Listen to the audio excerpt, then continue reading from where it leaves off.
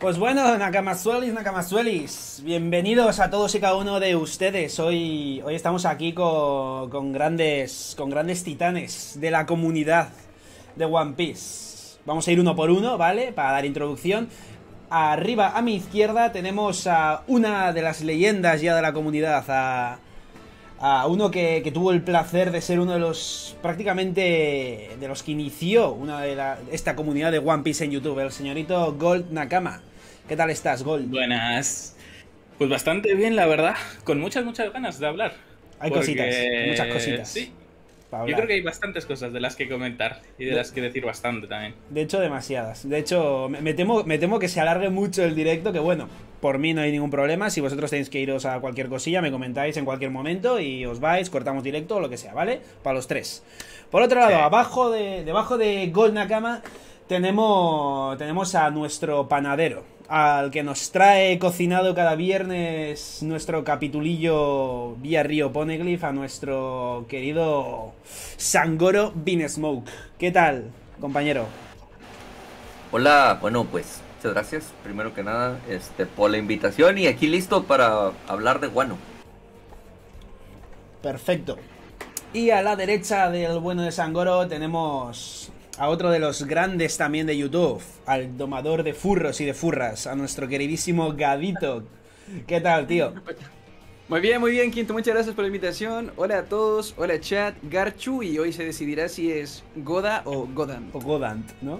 Luego, al final, de, al final de, del directo, hacemos una encuesta. Hacemos una encuesta en el chat y a ver qué decide la, qué decide la comunidad, si Goda o Godant, ¿vale? Si, uh. se me, si se me olvida, recordádmelo, o tanto vosotros como el chat, porque seguro que se me olvida, ¿vale? Pues bueno, pues hoy vale. venimos. Hoy venimos con un directo que, que, yo creo que es muy interesante y la verdad que tengo bastantes ganas, yo por lo menos, de, de comentar junto a vosotros. Que, que, viene a ser básicamente una opinión un poco general de One Piece, pero también centrándonos en especial en el final, ¿no? Un final que para algunos ha sido un poco apresurado, para otros ha estado bien. Decisiones de Oda que, que la verdad que dan bastante para hablar. Y bueno, primero me gustaría. Me gustaría pediros así. Eh, en un momentillo, un, uno o dos minutillos de opinión cada uno a nivel general, ¿qué os ha parecido el final de Wano? No Wano en general, sino el final. Empiece quien quiera. ¿Desde qué punto consideramos final? Final, hablemos lo que ha sido los últimos capítulos, desde la derrota de, de Kaido hasta ahora, ese cierre de arco, digamos, que, que, creo que ha sido bastante polémico para bastante gente porque han pensado que es muy rápido, muy apresurado. Hmm. A ver, pues si alguno de los otros tienen una opinión que porque a mí no, yo no tengo una opinión tan polémica, creo, con respecto a esto. Bueno, yo soy algo más neutral, quiero decir, sí que hay cosas que me han gustado, cosas que no me han gustado. Es que hay muchos momentos de hype también en este final. Ahora, si me hablas del final de la batalla, por ejemplo, no me gustó cómo se llevó. Aunque irónicamente, no precisamente por estar dándose prisa, Oda, uh -huh. sino porque me parece que estuvo el puñetazo este de Luffy que estuvo durante tres capítulos tres, o algo tres así. capítulos estuvo. Sí, ese, claro, es, eso es... me parece que perdió mucha fuerza para el lector el haber alargado eso. Pero luego de los últimos capítulos, mmm, yo estoy bastante bien. La verdad, yo no, no, siento que haya ido tan tan rápido. A mí, para mí ha estado genial en ese aspecto, joder, con las revelaciones que hemos tenido y todo esto también acompaña bastante, ¿no? Es verdad que había Pero para mí es un final muy acorde. Si lo comparo, por ejemplo, es que ¿qué otro final similar a este hemos tenido? El de Dressrosa, quizás. A mí el de Dressrosa se me hizo un poco bola, ¿eh? Es el que... final, final, los últimos 10 capítulos o algo así creo que fueron, se me llegaron a hacer un poco bola. Este creo que ha ido bastante bien de ritmo. No hay ningún capítulo que siento que me haya sobrado, ni a su vez siento que me haya faltado algo en este final. A lo largo del arco quizás sí, pero para el final, para lo que me esperaba del final, la verdad es que no. ¿Qué opináis vosotros dos, chicos? Eh, ok, pues yo Ajá. Yo creo que, o sea, igual hablamos ayer en directo, depende de qué punto en adelante consideras que comienza el final, final del arco, ¿no? En, en mi caso, eh, si hablamos de la recta final, eh, me gustó bastante. Yo creo que fue de la longitud perfecta. No fueron 15 capítulos como muchos pensaban, fueron mucho menos, fueron unos eh, 6 o 7, digo, de la derrota de Kaido en adelante, y todos fueron buenos. Si ves, uno tenía la llegada de Ryokugyu, que fue tremendo plot twist. El otro tenía Roku, Rokugyu, eh, no sé, derrotando a King y Queen. Eh, mm. Luego teníamos a Shanks. Luego tuvimos el de Cross Guild. Entonces, cada capítulo tuvo lo suyo. A mí el único que me decepcionó fue el último, el de el de la semana pasada, el de, o sea, el de esta semana, el que salió este domingo en Manga Plus. Es el único que a mi parecer no. El, de, Yamato, el de Yamato Nakamant. Claro, claro, y ni siquiera por Yamato Nakamant, ni siquiera fue, eh, bueno, una de las razones, ¿no? Pero eh, más que nada, no me dio la espectacularidad que yo buscaba para el final de un arco de cuatro años. Mm, vale. Y para despedirse de dos Nakama, que llevamos 10 años con ellos. Claro, es verdad, Low y compañía es como que ha sido muy rápido, ¿no? O sea, como que ha acabado la batalla con Kaido y de repente a Low le ha dado el cambio de chip y ha dicho, ahora somos enemigos, olvídate de mí. O sea, ¿sabes? O sea, ha sido muy... muy profesional, ¿no? Muy profesional. Ya, demasiado diría yo. ¿Sangoro? Vale, pues a mí me pareció muy apresurado el final. Sinceramente, como que sentí que podía todavía cerrar unos cabos que que, había por ahí. No sé, me, faltaron escenitas que nos vino como que hypeando y, y, dándonos avisos de que iban a, ocurrir y nunca ocurrieron. Por ejemplo, nunca vimos Zoro visitar la tumba de Ryuma. Yo me quedé con eso. Me quedé también con, con que esperaba que Chopper a lo mejor hiciera algo por curar el, el efecto de las Smile del pueblo de Bisu. Eso a mí sí que se me ha quedado un poco pendiente, la verdad. algo así, o sea, había, es la primera vez en un arco que había demasiados médicos. Es que se aprovecharon. blanco y en botella. O sea, había estaban todos juntos. Seguramente los tres mejores médicos del mundo. ¿Sí? estaban ahí. sí, sí, ahí estoy de acuerdo. Siento, y siento que de repente le metió el acelerador. E, esa la inclusión de, de Shanks sí se me hizo un poquito forzada, pero pues la, historia lo, lo, digamos que lo, puede compensar exactamente por, por la aparición de, del almirante Rikugio y todo esto. Pero sí me quedaron, les digo así, cabos sueltos. El final no me gustó, o sea, el, el capítulo, el último. O sea, todos los demás sí me fueron llenando Sí. El de, el de Cross Guild me encantó. El, el otro de, de. ¿Cómo se llama? De, fue del. El de. El, de Sabo, del Emperador del Fuego. el, de, el del Emperador de las Llamas, Sabo. De las llamas. Todos esos, o sea, se fue, se fue construyendo muy bien ese final. Pero el último capítulo es el que no me llenó así como que. Estamos acostumbrados a los cierres de arco espectaculares que nos, que nos fue dando a través de, de la historia que este en particular no, no, no, me, no me cerró. Yo estoy bastante de acuerdo contigo, Sangoro. En general, el cierre me ha parecido muy como muy un poco improvisado igual tampoco, pero sí como como muy rápido, ¿no? Como de bueno, ya hemos conseguido lo que había que hacer en Guano, a la venga, a otra cosa, ¿sabes? O sea, como como muy apresurado me da la sensación. Y lo que ha dicho Sangoro, al final temas como lo de la tumba de Ryuma, como lo de las Smile, y giros, giros de guion un poco raros, ¿no? Como el próximo tema que me gustaría tocar un poquito y que creo que esto se va a extender, que es el de Yamato Nakamant, ¿no? Eh, no sé, no ¿Qué, qué, opináis de todo esto vosotros? De Yamato Nakamant. primero, ¿alguno de los tres os esperabais este posible giro de guion? ¿Lo mantenía o, o estabais 100% seguros de que se iba a unir como yo? Yo creía que se iba a unir, sí. Sigo creyendo que se va a unir, ¿eh? ¿Ahora? Eh, no, ahora no. no, ahora no. A ver, no sé, es eso, lo mítico que ha dicho mucha gente, que igual está escondida en un barril en el siguiente capítulo, o que también hay gente que está diciendo esto de Carrot, ¿no? Ah, eso, Carrot, sí. Carrot, sí. no sé, igual de repente ocurre eso, pero no, yo no creo que vaya a ocurrir ahora. Pero sí que creo que acabará ocurriendo. Hmm.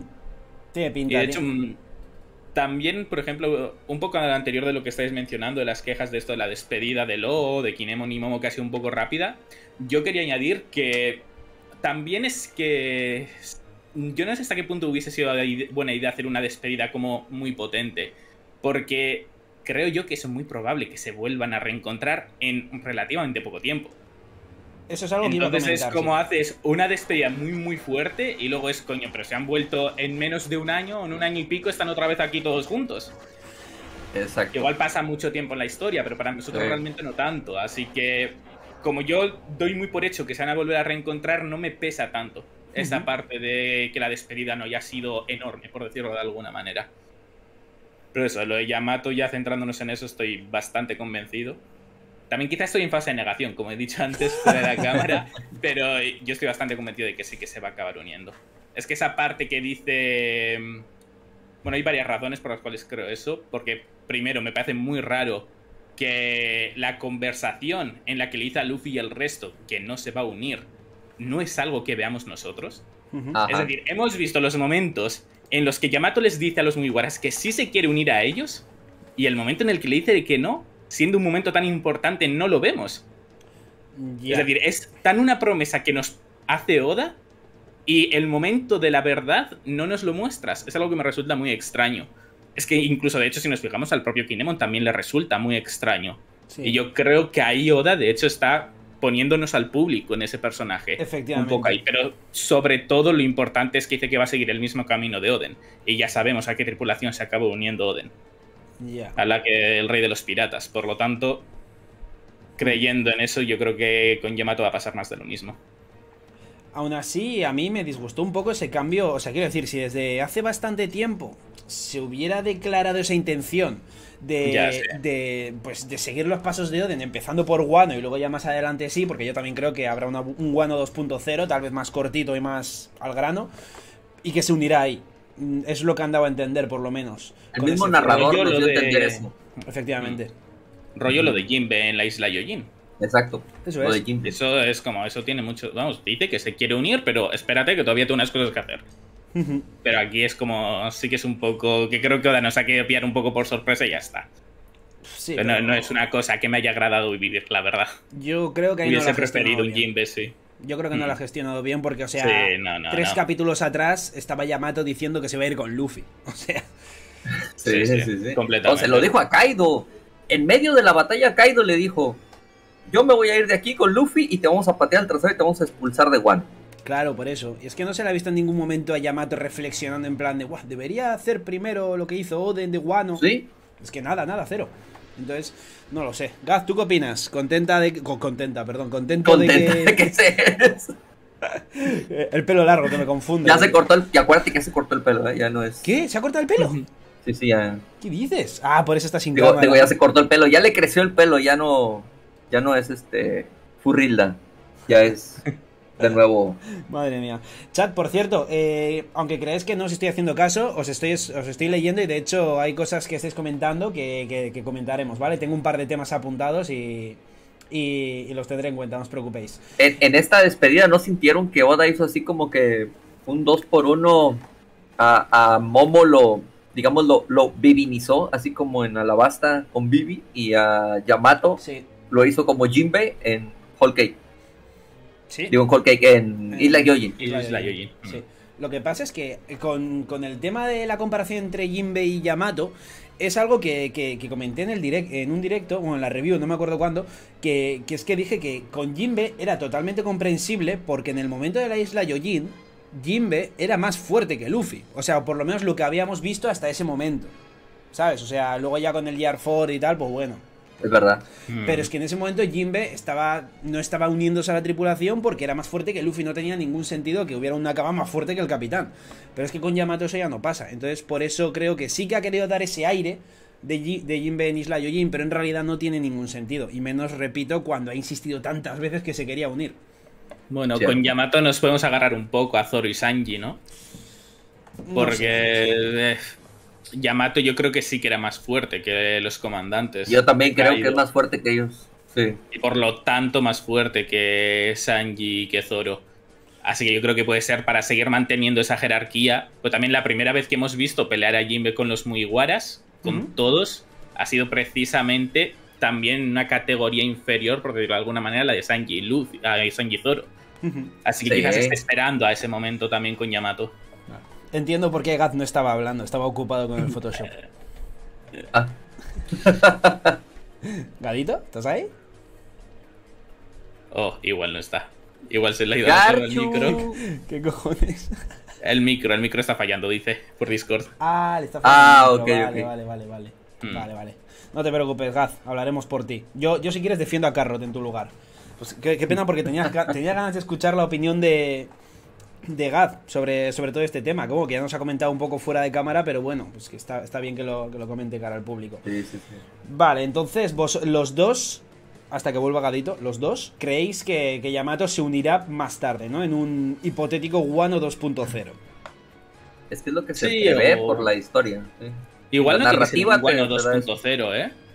Porque... Ah, yo tampoco creo que sea en Wano 2.0. Yo creo que va a salir de ahí y los va a alcanzar. Hmm. Pero, yo, eso, y esto también lo dije... ¿eh? ¿El qué, el qué? Hay cosas pendientes en Wano, ¿eh? O sea, ya no hablo de. Hombre, simplemente por el ah, que está ahí. ahí alguien tiene que ir, por narices. Eso tendría que estar yo y voy ahí, yo creo. Sí, es posible, es posible que ir sí que vaya. Pero, es decir, mmm, Yamato tanto tiempo le va a llevar viajar por Wano. Es que yo, mira, lo he visto en el chat que lo ha dicho alguien y creo que yo también lo dije en mi reacción, en mi review, que yo creía que, bueno, sigo creyendo que vamos a tener una mini historia de Yamato de las aventuras de Yamato ah. en las portadas. Yo creo que es lo que va a acabar tocando, que después de esta eh, habrá algunos típicos capítulos donde no hay historia ni nada. ha vuelto. ¿Qué? ¿Se arregló? ¡Ojo! Se arregla, se arregla. Ha, vuelto, ha vuelto. que se arregló. Me estaba poniendo nervioso. Creo que se arregló, Romeo. Tenía, tenía, tenía que cantar aventura. Perfecto, pues ahora que te tenemos aquí, ilumínanos. Gadito, ilumínanos. ¿Qué opinas sobre el Yamato Nakamant? Tu corazoncito es mío, mío. Bien, em, no sé por qué se arregló el micrófono, no hice nada. De hecho, fue a buscar el, computador para ver si el, otro, para ver si usaba ese y funcionaba, pero pues. Bueno, lo que sea. Como les dije antes de, del directo, mucha gente malinterpretó lo que yo decía. Mucha gente decía. O sea, yo en mi video me quejé de que Yamato no se une, ¿no?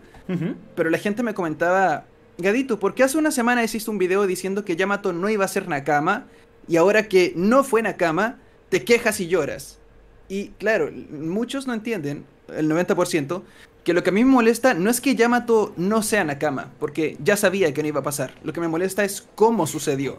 ¿cierto? No hubo ninguna, no nos mostraron la conversación con Luffy, no hubo ninguna escena impactante donde Oda te baité durante un segundo, tipo, no sé. Yo decía en el directo, a ver, Yamato dando un paso en el Sani y que de repente diga, no sé, que empuje el barco con la pierna, así como, no, vayan ustedes, yo me quedo. Tipo, un momento en el que haya un punto de inflexión, ¿no? Un real giro argumental. Porque el giro argumental que nos dio Oda fue Yamato trotando en el bosque, diciéndole a Momo casualmente que no se iba a unir. Y eso para mí se me hizo muy aburrido. Y por sobre eso, la razón de simplemente, jaja, quiero seguir siendo, o sea, quiero ser Oden al 300% y no solamente tener la aventura que tuvo Oden, sino que literalmente ir al baño a cagar a la hora que Oden lo hacía.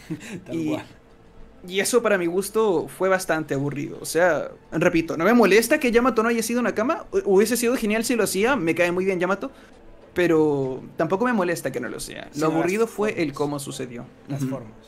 Claro. Ahí estoy. Estoy bastante de acuerdo contigo. Es un poco lo que, lo que he explicado mientras estabas cambiando la foto y poniendo un llamato de payaso. Eh, que básicamente es eso, o sea, si hubiera habido una declaración de intenciones previa durante capítulos atrás de que ya va cambiando de opinión y de que igual se queda en Guano primero con Momo, recorriendo un poco Guano y tal, pues mira, pues me jodería, pues porque yo quería que Yamato fuera Nakama, pero por lo menos ya te ha plantado un poco la situación, pero no estés hasta el último minuto diciendo que quieres ser Nakama para luego pegar, pegar ese cambio de opinión. Pero bueno, mm. Gad, ¿tú mm. crees que habrá un Guano 2.0? Em, mira, me encantaría, eh, no sé si Wano 2.0, Oda ya cerró la cortina, yo creo que abrir otro arco de Wano sería un poquito volver a abrir la cortina del, teatro. Yo creo que lo que sí va a pasar, pero definitivamente, es que así como fue hype cuando vimos que volvió Marco, recuerda cuando apareció Marco y fue como Marco el Fénix eh, en la cascada y fue como un color, un, no color spread, pero una página gigante mostrando a Marco así modo Fénix que pase eso con Yamato y Momo. O sea, me fascinaría que unos arcos más adelante mm. eh, haya algún problema o algún conflicto y llegue un dragón gigante volando con Yamato en su espalda y Oda ponga el cartel, ¿no? Eh, eh, Kosuki Momonosuke, Shogun de Wano. tipo una presentación bien bonita, bien épica como él sabe hacerlas. Me encantaría. Yo creo que esos personajes sí van a volver. Ahora, que tengamos otra aventura dentro de Wano lo veo muy improbable. Pero los personajes de Wano tienen que volver a aparecer sí o sí. Hombre, no necesariamente tendría por qué ser otra aventura, ¿no? Es decir, mm. otra resolución de problemas en Wano ni nada, sino más ir a Wano, pues como se podría ir, por ejemplo, a la isla Yoyina por Poseidón, ¿no? Ajá. O sea, tenemos cosas pendientes. Eh, tenemos que ver cómo se recuperó la economía de Wano. Tenemos que ver. Eh... eso la verdad que creo que Oda no lo va a mostrar mucho. Verá que todos comen y ya está.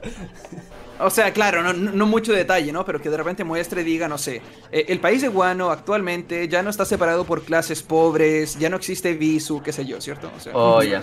Pobre. Claro. Hmm. Además, más o menos se, esto. Se han cargado, se han cargado Green Bull también de dar un poco de vegetación por las zonas resecas. igual, igual creen que puede hacer un capítulo así como si fuera un epílogo. Hmm. O sea, algo y, que, y que en dicho epílogo como en este metió muchos flashbacks en ese epílogo, meta, por ejemplo, un flashback de cómo Yamato conversó con los Mugiwara y cómo les dijo que se iba a quedar. Otro de, de Zoro, no sé, despidiéndose en la tumba de Ryuma. Otro de, de Caribou, este, viendo cómo va. Porque supongo que Caribou va a abordar el, el Sunny, o abordó el Sunny más bien, porque Luffy se lo prometió. Claro, o sea, el, problema de un epílogo resolviendo cosas pendientes es que serían como 20 capítulos. Son como 100 cosas No, pero imagina, imagina que en uno solo ponga así como, pues ya ves, el flashback, de Kaido. Yo esperaba que el flashback de Kaido durara varios capítulos. Y duró que 10 viñetas. Eso es otro tema, eso es otro tema a tocar, el mm. tema de, de si os ha parecido suficiente lo que se ha explicado con Kaido. Gold, ¿qué piensas tú de ese tema? Yo creo que el flashback... ¿había, ¿había alguien que quería decir algo más de todo este tema? ¿O que he cambiado directamente de tema y no sé si queríais decir algo? Mm, no, diría que no. Por mi parte no, al menos. Ok, pues dale. Dale, dale. Eh, vale, se me ha olvidado completamente la pregunta. ¿Cuál era? Eh, era eh, Kaido. Si os ha parecido, ah, sí, el flashback, vale. Eh, a mí el flashback sí que me gustó, pero eh, sí que es un flashback del que esperaba mucho más y del que creo que debería de haber sido más eh, por el tipo de personaje que es Kaido. Pero sobre todo, ya no más a nivel de sus motivaciones o a nivel más de saber sobre su vida, porque creo que estaba, ese aspecto creo que Oda lo cubrió bastante bien. No tiene que ser algo hiper profundo, el ser el más fuerte, cosas de ese estilo. Eh, sino es que con Kaido es un personaje perfecto para expandir aún más muchísimo del mundo de One Piece y de la historia de One Piece. Y con los Piratas Rocks, por ejemplo, hubiese sido un buen momento para ver a Rocks. Pues sí, hubiera sido un, buen lugar para presentarlo, la verdad. Mm. Así que sobre todo lo que yo eché en falta del flashback de Kaido fue eso. Fue más saber sobre el mundo de One Piece y sobre la historia de One Piece. Porque es algo al fin y al cabo que es muy habitual en este tipo de flashbacks. Totalmente. De este tipo de personajes. Y es algo que no tuvimos. Mm. Pero por el resto, por el tema de las motivaciones y ver su crecimiento y por las etapas que pasó, suficiente. De hecho, a, mí algo, a mí algo que me quedó de, lo de Kaido es el cambio que tuvo después de que conoce a King. Porque cuando conoce a King, Kaido soñaba con convertirse prácticamente en Joy Boy y, King lo tenía idealizado como que iba a ser el próximo Joy Boy. Y, de la, y, después vemos que pasan los años y Kaido no solamente deja de disfrutar y de, de ser el, el, Kaido que conoció a, King, sino que se empieza a meter más en la, a la bebida y empieza a buscar suicidarse. Entró en depresión totalmente. En depresión, sí. ¿Qué, pasó en ese, en ese inter de tiempo? Con Kaido. a mí me faltó eso. Yo pensé que eso lo iba a contar en el, en el flashback y, siento que ahí faltó algo. Igual más adelante nos, pueda, nos va a contar algo sobre eso. Quizás cuando nos suelte por fin el rostro de Rox y todo eso. O que Yamato nos cuente también a lo mejor algo sobre Kaido. Pero, pero ya ahorita así como ya cerró el arco. No creo que volvamos a Guano quizás hasta la guerra final o algo así. Entonces está, está complicado a mí personalmente eso no me molesta tanto. Porque creo que ya se puede dar por hecho que es lo que pasó. Bueno, ya sabiendo las veces que ha sido derrotado y todo esto, simplemente con el paso de los años vio que no podía lograr ser Joy Boy y ya doy por hecho que se le acabó metiendo a la cabeza y pues que eso le afectó un poco. O bastante, depende de cómo lo quieras ver, claro. Así que a mí no me parecía tan ni me sigue pareciendo tan necesario que veamos eso. Creo que puede ser, con los datos que conocemos ya de Kaido, creo que se puede saber que esa es la evolución natural que podía seguir. Aún así, a mí eso es algo que, estoy de acuerdo. Sí que es verdad que hemos podido intuirlo nosotros. Y de hecho, Oda hace mucho de eso, de no contarnos cosas del todo, pero que son intuibles. Aún así, yo creo, o sea, no un capítulo entero para eso, pero sí por lo menos unas viñetas, un par de páginas o lo que sea, donde se vea un Kaido ahí en, ese, en esa transición que dice Sangoro que falta precisamente, ¿no? De ser eh, un tío que quería comerse el mundo. De hecho, vamos, o sea, hay una. Yo tengo una viñeta grabada de Kaido joven cuando se menciona lo de Joy Boy y todo esto, que, es que veo a Roger más que a Kaido en esa viñeta. Y que todavía no tenía bigote, si no recuerdo mal, y, tal. Y luego de repente pasa a ser ese Kaido depresivo, borracho, que pasa de la vida y quiere morirse. Pues un, un par de viñetas por lo menos rayado ahí dándole vueltas a... Sí, guapo hubiese estado. O el, simplemente el momento en el que se da cuenta que ya no puede ser Joy Boy. El momento en el que él procesa esa información. Hmm. Sí, a ver, es algo que si hubiese estado, hubiese estado bien, ¿eh? En plan, que lo hubiese añadido bien, pero tampoco es algo como... Mejor de más Claro, pero no, no, no, no es queja. De hecho, me gustaría me hubiera gustado verlo, es lo que... Sí, si no... Es, es el, el, cuando perdió la sonrisa, ¿no? ¿Cuál fue el punto de inflexión? Ajá. Claro. Porque parecía un yo. O sea, imaginen que puede haber estado a lo mejor, no sé, inmiscuido, en este caso, la madre de Yamato. Nunca supimos de la madre de Yamato. Mm. Que por cierto, la madre de Luffy nos olvidamos también, ¿no? Bueno, yo se la doy por. Ah, bueno. por si no lo habíamos olvidado de ya. Eh, claro, o sea, la madre de. La madre de Luffy con lo que salió a decir este Mayumi Tanaka. Ah, vale. Hmm. A, a, nombre de Oda dijo Mayumi Tanaka que, que Oda le, le, dijo que esta historia es de, es de Luffy después de dejar los brazos de su madre. Por lo tanto, la madre de, de Luffy no es importante en la historia y no la vamos a ver. Bueno, así que de ahí atrás no importa. O sea, claro, claro. Es a, mí también se me una locura, pero bueno. Después cuando ves, ah, después ah, cuando ves esta, ah, perdón, perdón, dale. Vale, vale, eh, rápidamente. Eh, muchas veces Oda es un poco extraño porque a veces uno dice, no, mira, One Piece es una serie donde no importa conocer a los padres porque es más importante eh, la relación de sudor, ¿cierto? Es más, más importante que la sangre. Lo vimos con Nami, por ejemplo. A mí no me importa mm. conocer a la, a la madre de Nami porque nos, quedaron, nos dejaron en claro que es más importante su relación, sus sentimientos con Belemere y con Nojiko, ¿no? Y claro, yo podía decir lo mismo de Sanji. No nos importa conocer al padre de Sanji porque ya conocemos a Seth. Pero mira, llegó Oda y resulta que sí te tiró al puto padre de Sanji. Entonces, nada cierra la posibilidad de que mierda, luego se nos presente la de Nami o qué sé yo. A, mí me vale verga, no me importa realmente. Pero no, detengo, o sea, no me, niego a que ahora ¿eh? mm. ¿Cómo ha cambiado todo esto? Porque hace unos años, que igual por incluso todavía cuando andábamos por Dressrosa y Zou, sí que era un tema bastante recurrente, lo de la madre de Luffy. Pero ya con ah, el paso del tiempo, es como que se ha olvidado por completo. Como que ya no importa tanto. Ya me parece bien en parte. Claro. Mira, mira, mira Whole Cake, God. O sea, si metes a la madre de Luffy vas a tener otro arco de 100 capítulos. No, gracias. bueno, realmente, a ver, yo creo que algo de la madre sí que sabremos eh, cuando llegue el momento de que Dragon y Luffy se encuentren. O sea, hay en algún momento algo, o sea, no será un arco entero, obviamente, pero por lo menos una mención yo creo que sí que se merece. O sea, quiero decir, has metido, de como, como ha dicho Gad, o sea, ha metido de repente al padre de Sanji, le ha dado un arco entero prácticamente por la cara. Yo, yo qué sé, pues no, no, vamos a ver a la madre del protagonista. Hombre, yo creo que una mención por lo menos, o por ponerle una cara, ¿no? O sea, lo mismo que hizo con la madre de Ace. Con por las Lo mismo, un, flashback todo. Algo de ese estilo, sí. De dos capítulos o de un capítulo, no sé ni cuánto dura, pero eso.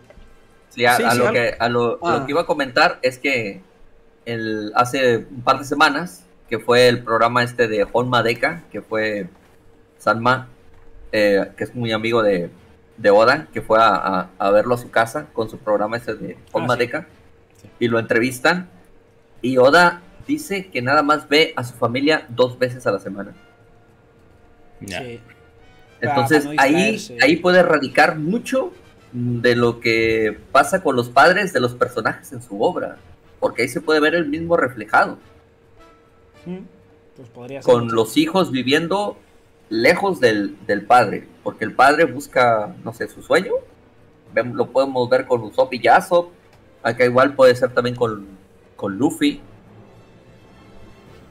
El padre de Robin se supone que también era. Pirata. Sí, un arqueólogo, sí, que también. Estaba en una banda. Es que creo que estaba en una banda pirata también, ¿no? No sé si como pirata o unido o algo así. Aventurero. Era arqueólogo, ¿no? Eso es muy Hunter x Hunter. Eso es muy Hunter x Hunter. Es literalmente lo mismo que. Ah, sí, claro. también es un arqueólogo que se escapó a seguir su sueño y su hijo lo sigue. Es lo mismo.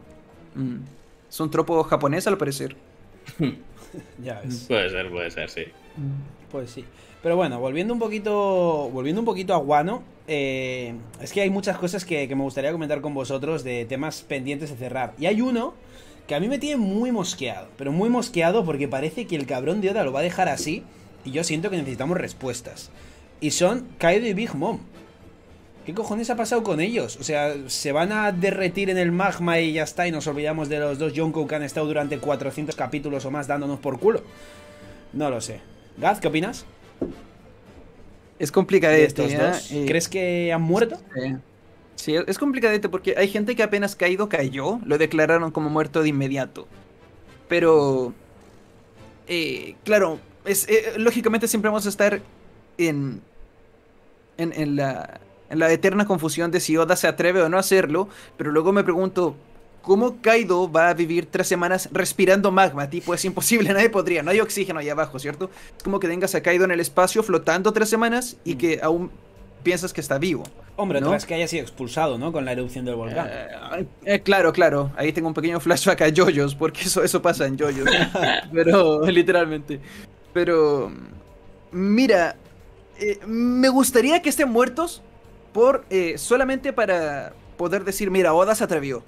Oda se atrevió. Pero probablemente si me pongo a pensarlo y lo analizo bien, diría, mierda, quedó tanto pendiente de Big Mom en Elbaf y tanto pendiente de Kaido a lo mejor, a lo mejor dándonos un, una última conversación con King, ¿no? Alguna cosita por ahí. Y si me pongo a pensarlo y analizo el arco y lo leo de nuevo, voy a decir, mierda, ojalá Kaido no haya muerto porque aún nos falta mucho de él. Y sobre todo, que creo que no, o sea, un personaje que se nos, que la forma de presentarse es intentando morir y que se nos describe como un personaje que busca la muerte y no la consigue, que haya tenido una muerte tan en segundo plano, en vez de una muerte a los Shirohige, a mí eso me, frustra un poco, ¿no? O sea, quiero decir, es un personaje que, busca la muerte. Va a morir porque Luffy le ha metido un puño, le ha, untado, le ha, enterrado en, en, el magma y ya está, y nos olvidamos de él. Ni un discurso, ni una frase, ni un tú eres de verdad Joy Boy, Monkey D. Luffy, yo qué sé. Nada de eso. O sea, una, una, una, una, de las cositas. Ah, eh, Sangoro, solamente déjame cerrar este punto porque lo dije. creo que lo dije. Sí, sí, sí, claro. Lo, dije en un video como hace un año, y, o sea, un problema que tenía Oda siempre fue el que Kaido quería morir, ¿no? Y yo lo dije en un video, ¿cómo, ¿Cómo Oda va a ser capaz de hacerse responsable del sueño de Kaido? Kaido quiere morir de forma épica. Si Kaido muere al final de Wano, cumplió su sueño. Pero si no muere, va a seguir siendo un monstruo suelto por toda la eternidad, ¿no? Entonces, como que Oda encontró un punto medio y dijo, mira, a ver, Luffy, entre comillas, lo mató, ¿cierto? Pero no lo mató a propósito, porque Luffy no mata enemigos. Entonces, el que Kaido haya, repito, entre comillas, muerto porque no sabemos, fue básicamente un accidente, fue una, un, un, extra. Probablemente la intención de Luffy era, era enterrarlo en el suelo y que Kaido quede inconsciente. Pero bueno, terminó cayendo la lava por, por los loles. Entonces, eh, no sé, me hace ruido, pero a la vez me satisface, es muy extraño. Sí, lo que, lo que quería este, comentar era que normalmente a todos los villanos, y no olvidar que Kaido también es, el villano, es el villano de, este arco junto con Orochi probablemente, y Big Mom, eh, a todos los villanos Oda les ha dado el tratamiento de que no pueden cumplir sus sueños. Y en este caso el sueño de Kaido era, era morir de una manera épica y y todo este rollo, entonces pues, no le cumplió el sueño Oda. Por eso, y al mismo tiempo nos situamos en un escenario en el que Oda está planteando que es como el teatro Kabuki, entonces ahí te mm, pone que el principal villano muere tras bambalinas, no te das cuenta, o sea, no tiene, no tiene, ni siquiera la gente se dio cuenta que murió. Bambalinas. Sí, sí. Claro. Sí, o sea, eh, eh, es cierto, hay un valor hay un valor muy perdido acá en Occidente. Por ejemplo, ayer en directo me decían que la frase final de Hiyori, la que fue tan Ah, ahorita voy a comentar algo de eso. Claro, o sea, sí, sí, sí, todos decían como, oye, eh, er, es, estaba completamente fuera de lugar que Hiyori diga eso. Podía perfectamente terminar el arco sin que Hiyori diga eso, pero es como, viejo, o sea, los Rakugos se caracterizan por terminar con un juego de palabras. O sea, Oda todo lo que quiso hacer fue seguir la tradición eh, de la era Edo japonesa. O sea, los japoneses leen eso y dicen, wow, mira, qué genial. Terminó tal cual como termina un Rakugo original, ¿no? Eh, Ah, mira, eso yo no lo sabía. Es muy interesante. Claro. Pero para acá en Occidente, o sea, todos los realmente todos los extranjeros quedamos como, oye, ¿por qué Hiyori dijo esa frase tan hiriente? Es que, hermano, nosotros nos perdemos el 40% del arco de Wano por no entender las referencias. Nos falta contexto, la verdad. Nos falta. Claro, sí. ¿Y gol? Bueno, Sangoro, no sé si querías decir algo más. Sí, sobre, sobre lo de Hiyori, sobre lo de Hiyori, que el, el, fin de semana estuve, estuve conversando esto para ver cómo era eh, los japoneses, cómo habían tomado este, pero obviamente me tuve que esperar hasta el lunes hasta que ellos lo tuvieran, este, porque ellos no leen spoilers, ¿eh? o sea, son súper cívicos en ese, en ese aspecto, no leen spoilers, se esperan hasta que sale el, la versión, aunque la tengan en inglés y todo este rollo. Y, me, y, y, comenté con ellos sobre, sobre las palabras de Hiyori, y es como dice Gab, es un Rakugo. Toda la parte final de la narrativa que, se da es, es, un Rakugo y los Rakugo normalmente tienen mucha ironía. En este caso la ironía es de que el Oden no es un Oden, sino estoy riendo. Y acá lo cambian por el, el carbón no es un carbón, sino está ardiendo. Ya ves. ¿eh? Esa es la frase. Esa es la frase que usa Hiyori. significa carbón, ¿no? Sí, Kurosumi es carbón negro. Vale, vale, vale. Ya ves, ¿eh? Qué, bien tirado por parte de Oda. ¿eh? Es que es lo que dice Gad. Esas cosas como las perdemos porque no las conocemos, porque no están en nuestras bases de conocimiento. No, y se, y se enfadan, se enfadan, Quinto, porque, porque hasta me dice, es que no te diste cuenta que Oda lo puso entre comillas, lo que significa que es, en, es una analogía, es sentido figurado. Ustedes los occidentales que no entienden la cultura japonesa porque... Digo, no, bueno, pues eso ya es otra cosa. Eso, para la siguiente. No me, reprendas, hermano. Yo nomás te pregunté la opinión. Eso para la siguiente, cuando vayas a poner típica, típicos mensajitos en pequeñito que pones entre viñeta y viñeta, en plan nota, no sé qué. para, la siguiente lo pones y que ocupe todo eso. Humor japonés, si nota el traductor, humor japonés. No o sea, esta, esta merece toda una página al final explicando un gran párrafo. O sea, o si no, la gente no lo va a entender. Es que me, van a, me van a hacer me, van a hacer este, tener que generar un glosario sobre esta frase. y lo voy a tener que hacer, o sea, en definitiva, para las, para las siguientes este, personas que la vayan a leer en, en la versión final, voy a tener que hacer un glosario. Exacto. Lo único que me hace un poquito de ruido que lo dice David en el chat y que yo también lo dije en mi video, que a ver, que te creo que el único lugar por donde puedes tomar que sea un poquito extraño es que Oden usaba su nombre, se refería a él individualmente. Y Hiyori cuando dice Kurosumi, pues apela a una familia, ¿no? A todo un clan. Entonces, eso es como lo único que yo encuentro un poquito feo, lo único. Pero de nuevo, a lo mejor un japonés va a decir, no, no importa para nada, ¿cierto? Pero claro, eh, Hiyori indirectamente, su chiste, habla colectivamente de los Kurosumi. Pero claramente su intención era solamente humillar a Orochi y no a todo el clan. Bueno, igual también le venía un poco generalizando porque aparte de que siempre ha sido un clan odiado con ese, apellido, también están los otros dos que, fueron prácticamente los que sentenciaron a Oden a muerte, que fueron el viejo y la vieja. De, claro, sí, sí, también. O sea, al mm. final yo creo que sí que quiere salpicar un poco, aunque vaya muy enfocado a Orochi, en realidad sí que es un poco como, venga, Kurosumi, jodeos todos. ¿Gol? Claro. Puede ser. Yo no tengo ni idea de qué decirte de lo de Kaidi Big Mom, la verdad. Yo lo que temo un poco. lo que temo un poco es que vuelvan como zombies. Con Moria. Mm. ¿Moria? Porque eh, ahora que Moria está como. Bueno, se supone, o parece ser que va a estar como subordinado de Kurohige. También Karibo uh. a quién va a informar de todo lo que ha ocurrido, de dónde están las armas ancestrales y todo esto. Porque si le informa a Kurohige, entonces también le va a informar de dónde están Big Mom y Kaido. ¿Tú piensas? Y siendo tan, tan, resistentes sus cuerpos como lo son, me creo que eso sirva como argumento para eh, decir sus cuerpos aguantaron bien estando en la lava un buen tiempo. ¿Tú piensas que es a, a Kurohige al que puede informar? No, es, es simplemente un poco por atar todo esto. Mm. Pero no, no, lo tengo nada claro con respecto a este tema. Es. Queda tan hábil. Es que es por cómo es Soda también con el tema de las muertes y todo esto. Y también en este arco, como algunas cosas las hacía muy rápido, otras se tomaban mucho tiempo. No tengo ni idea de cómo interpretar las muertes de Kaido y de Big Mom. Pero tiene un poquito de sentido, ¿ah? si recuerdas bien, Kurohige es del tipo que extorsiona. Le dijo a Bonnie, o, te unes a mí o te entrego, ¿no? O sea, lo mismo podría haber sido con Moria.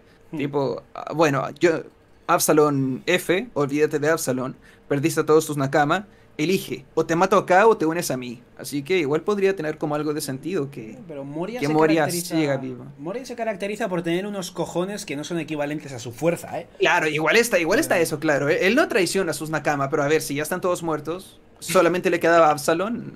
Yo creo que antes pelearía con Kurohige, fíjate, y moriría y la fruta para Kurohige o para cualquier Nakama. Pero yo a Moria no lo veo no lo veo bajándose los pantalones, ¿eh? Con Kurohige. Al igual que se enfrentó a Kaido y... O sea, es débil. Moria es débil, pero, pero tiene unos cojones que no entran en este, en este directo. O sea... Yo, yo veo más que alguna cama tenga la fruta de Moria, fíjate. Cuidado. Puede ser. Queda perona, dicen en el chat. Queda o sea, ¿tú, tú, lo ves ya muerto prácticamente a, a, Moria. Yo a Moria, sí, o sea, lo que veo 100% es la fruta en la tripulación de Kurohige, ya sea por el propio Moria, unido porque no le queda otra, como habéis dicho, o, muerto y que alguien se ha vuelto el usuario de su fruta, que es lo que más probable veo, ya te digo, porque yo a Moria no lo veo, no lo veo diciendo, vale, vale, venga, va, me rindo. O sea, es que no lo veo haciendo eso. Es que, pues, depende. Moria. Bueno, vale. Que depende también, porque igual más que extorsionarle, le está ofreciendo como más fuerza. Le está diciendo, ¿te mm. acuerdas de cómo Kaido, cómo Kaido te jodió? Pues mira, ahora igual vas a poder obtener su cuerpo. Tal y como mm. tuviste un Oars, uno de esa raza, pues ahora, bueno, que Kaido... Mm. Pero eso, que puede ir ahí y obtener el cuerpo de Kaido y vengarse de Kaido de esa manera, manipulándole ahora. El que tanto le jodió, ahora es él quien le manipula. O le ofrece eso, tener muchos más hombres sacados de distintos lugares o algo así. Mira, eso me parece interesante. Y de hecho, algo que habías comentado antes con el tema de la sombra, bueno, con los cuerpos zombies de Big Mom y, y Kaido, yo eso me temía más con Shirohige y con Ace. Ya, en su día muchos nos lo temíamos, sí. Sí, ¿no? Bueno, a día de hoy puede ser algo todavía de temer, ¿eh? Sí, mm. todavía, todavía, todavía no estamos a salvo de eso. Eh, Moria, Moria tiene una suerte de la. O sea, no solamente una suerte, sino que tiene un par de huevos el hijo de puta. No solamente peleó contra Luffy y que ya Luffy le pateó el culo en una gran batalla, ok, listo. Sino que va a Marineford, el hijo de perra, lucha contra todos como un... Es, es uno, eh, creo, el único soldado que realmente entrega todo de su parte por la marina en Marineford. Todos los demás tenían ahí algún arreglín o alguna otra intención, incluyendo a Mihawk, Hancock, Kuma, ¿no? Que, bueno, Kuma era un robot, así que no cuenta.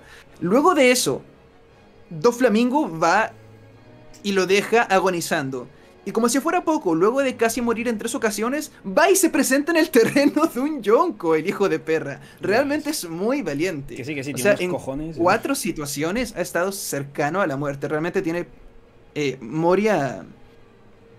Mierda, creo que es un personaje que la, que la gente deja muy de lado, pero es muy interesante. Hace muchos años peleó contra Kaido, perdió a toda su tripulación, Luffy la patea al culo, va a Marineford, luego Do Flamingo por la mafia trata de matarlo, queda agonizando, vuelve a donde Kurohige, ahora probablemente le hayan... Es un fracaso. A ver, o, matado, o qué sé yo. Entonces, tiene una gran historia, Moria. Es un personaje que a mí me gusta mucho. Hmm. Totalmente de acuerdo. Pero me parece curioso eso, ¿no? Los cojones que tiene y lo fracasado que es. O sea, es, es la muestra de agallas, ¿no? Ah, claro. O sea, el tipo no se rinde, sí. De hecho, es casi la inversa Baggy. Moria. De hecho, igual es todo lo pues, contrario a Baggy, sí. Baggy es como siempre huyendo, siempre con trampas y todo eso, y todo le sale de puta madre. Sale bien. Y Moria, que echa para adelante, muchas cosas le acaban saliendo mal, aunque bueno, habrá que ver ahora. Total, total. Sí. Pues bueno, otro, otro temita. Eh, este, bueno, este se ha ido desinflando y a mí por lo menos la verdad que ya me da bastante igual que, no se haya dado en, en Guano. Al principio sí que teníamos expectativas de ello, pero luego ya yo creo que suda. Y es el tema del pasado de Zoro, ese posible pasado que hubiera... Que hubiera, que, algunos tal vez esperábamos, ¿no? Como buenos fanboys de Zoro. Sangoro, ¿qué, esperabas? o sea, ¿te esperabas un flashback de Zoro? ¿No? Mm, sí, sí, la verdad sí.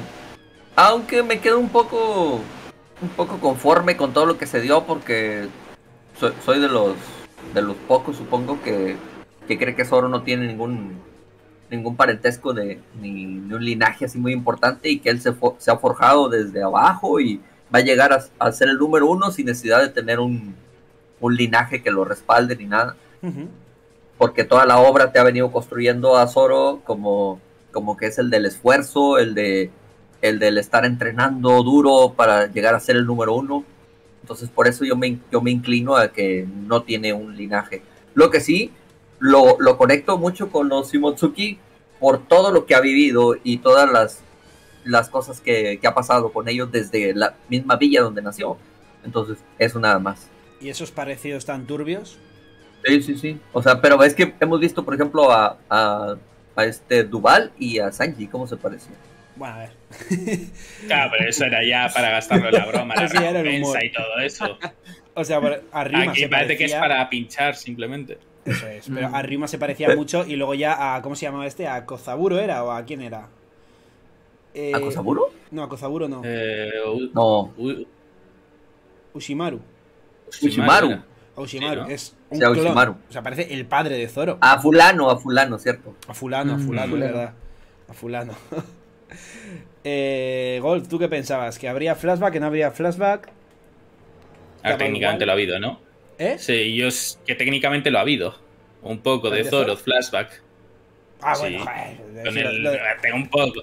Pero. No ese tipo de flashback. Sí, yo más. Yo también me esperaba más. Aunque simplemente hubiese sido lo que dice Sangoro, que no tiene por qué tener un linaje muy importante, pero si realmente es eso, ¿por qué no me muestras que no tiene un linaje importante y ya está? Y me quitas las dudas. Porque con eso, además, pues, enriquecerías al personaje de Zoro también por lo que ha dicho Sangoro, ¿no? De lo del esfuerzo y todo esto. Como él no viene de ningún lado, simplemente el parecido es casualidad.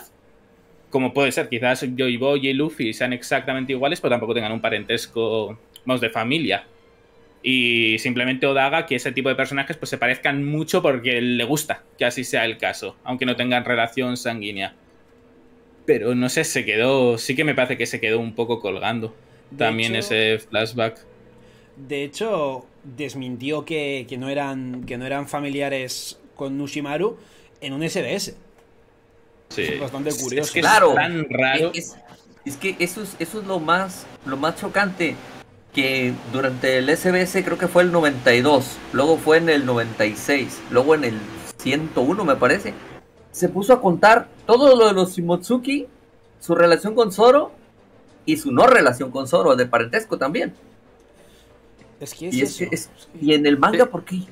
¿Por qué no? Eso, eh, eh, eso, para mí fue muy decepcionante. Tipo, yo llegué a esa parte y yo estaba haciendo la review del capítulo y estaba en, la charla hablando en, mi Discord con los suscriptores. Estamos en plena charla y yo dije cierta cosa y me dijeron, no, Gad, eso ya se dijo que no, que no pasaba. Y yo, ¿cómo? ¿Dónde? No, es que en el SBS. Y claro, ¿por qué Oda deja en el SBS datos tan importantes. Es como que me cuentes el pasado de Sanji en un SBS. No me sirve, o sea, tiene que ser parte de la obra. Yo entiendo que el SBS son datos oficiales, pero mm. si tú te lees el manga de One Piece y no te importa ese rincón de curiosidades, donde responden cosas como cuál es el tamaño de los pechos de Nami, ¿cierto? Si no te importa ese tipo de detalles, perfectamente te puedes saltar también el pasado de Zoro, ¿no? Que Oda puso ahí en un rinconcito, que es muy importante, pero si no te interesan los SBS en general, te vas a perder ese pedazo de dato. Y yo creo que ahí se cayó un poquitito Oda, no me gustó que, lo, que, lo, que no lo agregue en el manga. De hecho, ese tipo de cosas la está haciendo bastante Oda últimamente, ¿eh? tanto en los SBS como en, yo que sé, los Road to Laugh Tale, eh, las novelas de One Piece eh, y sobre todo, no sé si habéis visto ahora mm. con el tema de Shanks, por ejemplo, el tomo 4000 millones, no sé si lo habéis leído. Ah, el tomo 4000 millones es es impresionante toda la información que trae. Eso es una mina de información que tendría que estar en el manga. Que igual te la cuenta en el manga, pero no nos la adelantes en un tomo promocional de una película. Es, que eso es lo grave, Quinto, porque ese tomo nada más te lo dan a la entrada del cine. Claro. O sea, es como, no sé, o sea, me estás. Eh, no sé si hablar de ello o no, porque no sé si lo habéis leído. ¿Vosotros? Claro, sí, no, no, yo también he reservado esos datos. Pero no todos. Es decir, ¿tiene algo que ver es que claro, tampoco sabréis si de ahí se muestra algo relacionado con la película, ¿no? Claro. Pero yo a la película sí que quiero ir más o menos a ciegas. Sí, sí, yo quiero ir totalmente a ciegas también de la sí, De, de hecho, sí tiene unos cuantos datos de la película, pero de ahí en fuera, este, no. Es más cosas sobre Shanks y su banda que sobre la película. Eso es. Es que, por ejemplo, que lo de la recompensa que tenía cuando estaba en donde Luffy, pues bueno, ese tipo de información me parece bien, porque no veo un momento en el manga en el que digan, sí, ¿te recuerdas cuando se encuentren Luffy y Sang? ¿Recuerdas cuando era pequeño? Tenía 1048 millones. Pues bueno, pues, pues da igual. Pero hay cosas, yo que sé, ¿no? El tema de, del hack, el, el, mote que tiene Shanks, por ejemplo, de lo del aniquilador del hack de observación y no sé qué. Sí esas cosas, eh, cómo fue encontrado Shanks de pequeño, esas cosas que se cuentan en ese tomo, ¿por qué no se espera a meterlo en un flashback o a que lo cuente el propio Shanks o Rayleigh o yo qué sé? Y da, da un toque de, historia increíble al manga, daría, ahora ya lo sabemos. Y por mucho que lo cuente, no va a ser igual de impactante. Hmm. Hmm. Entonces, pues... Pues no lo sé, a mí ese tipo de cosas no me dan buena espina. Y yo, yo creo no sé vosotros, ahora me gustaría saber vuestra opinión. Y es la eh, primera vez que lo hace, ¿eh? Porque yo tengo el de, el de Gold, este, tengo también el de Stampede, el de Strong World, y en ninguno de esos viene tanta información canon como en este. bueno, el de, Strong, el de Strong World sí, porque era el de Seeking. El del episodio cero, ese es el que te daban a la entrada del cine. Claro, pero, por lo menos por lo menos Oda lo numeró como capítulo canon del manga, tipo cero. Y nos dio un capítulo de manga, claro. Entonces, claro, es parte del canon de la historia. Y no es un jodido CBS. Efectivamente. es que son datos así que. Pero es que esto de bien podría haberlos plasmado en el manga y te lo. Total. Y es que esto de Sans no llega ni a SBS. En un folleto. O sea, es, es, un tomo promocional de una película. O sea, que, que, que, o vas y lo consigues ahí o no lo consigues. O sea, me parece. A ver. Igual es eso, igual luego lo acaba introduciendo.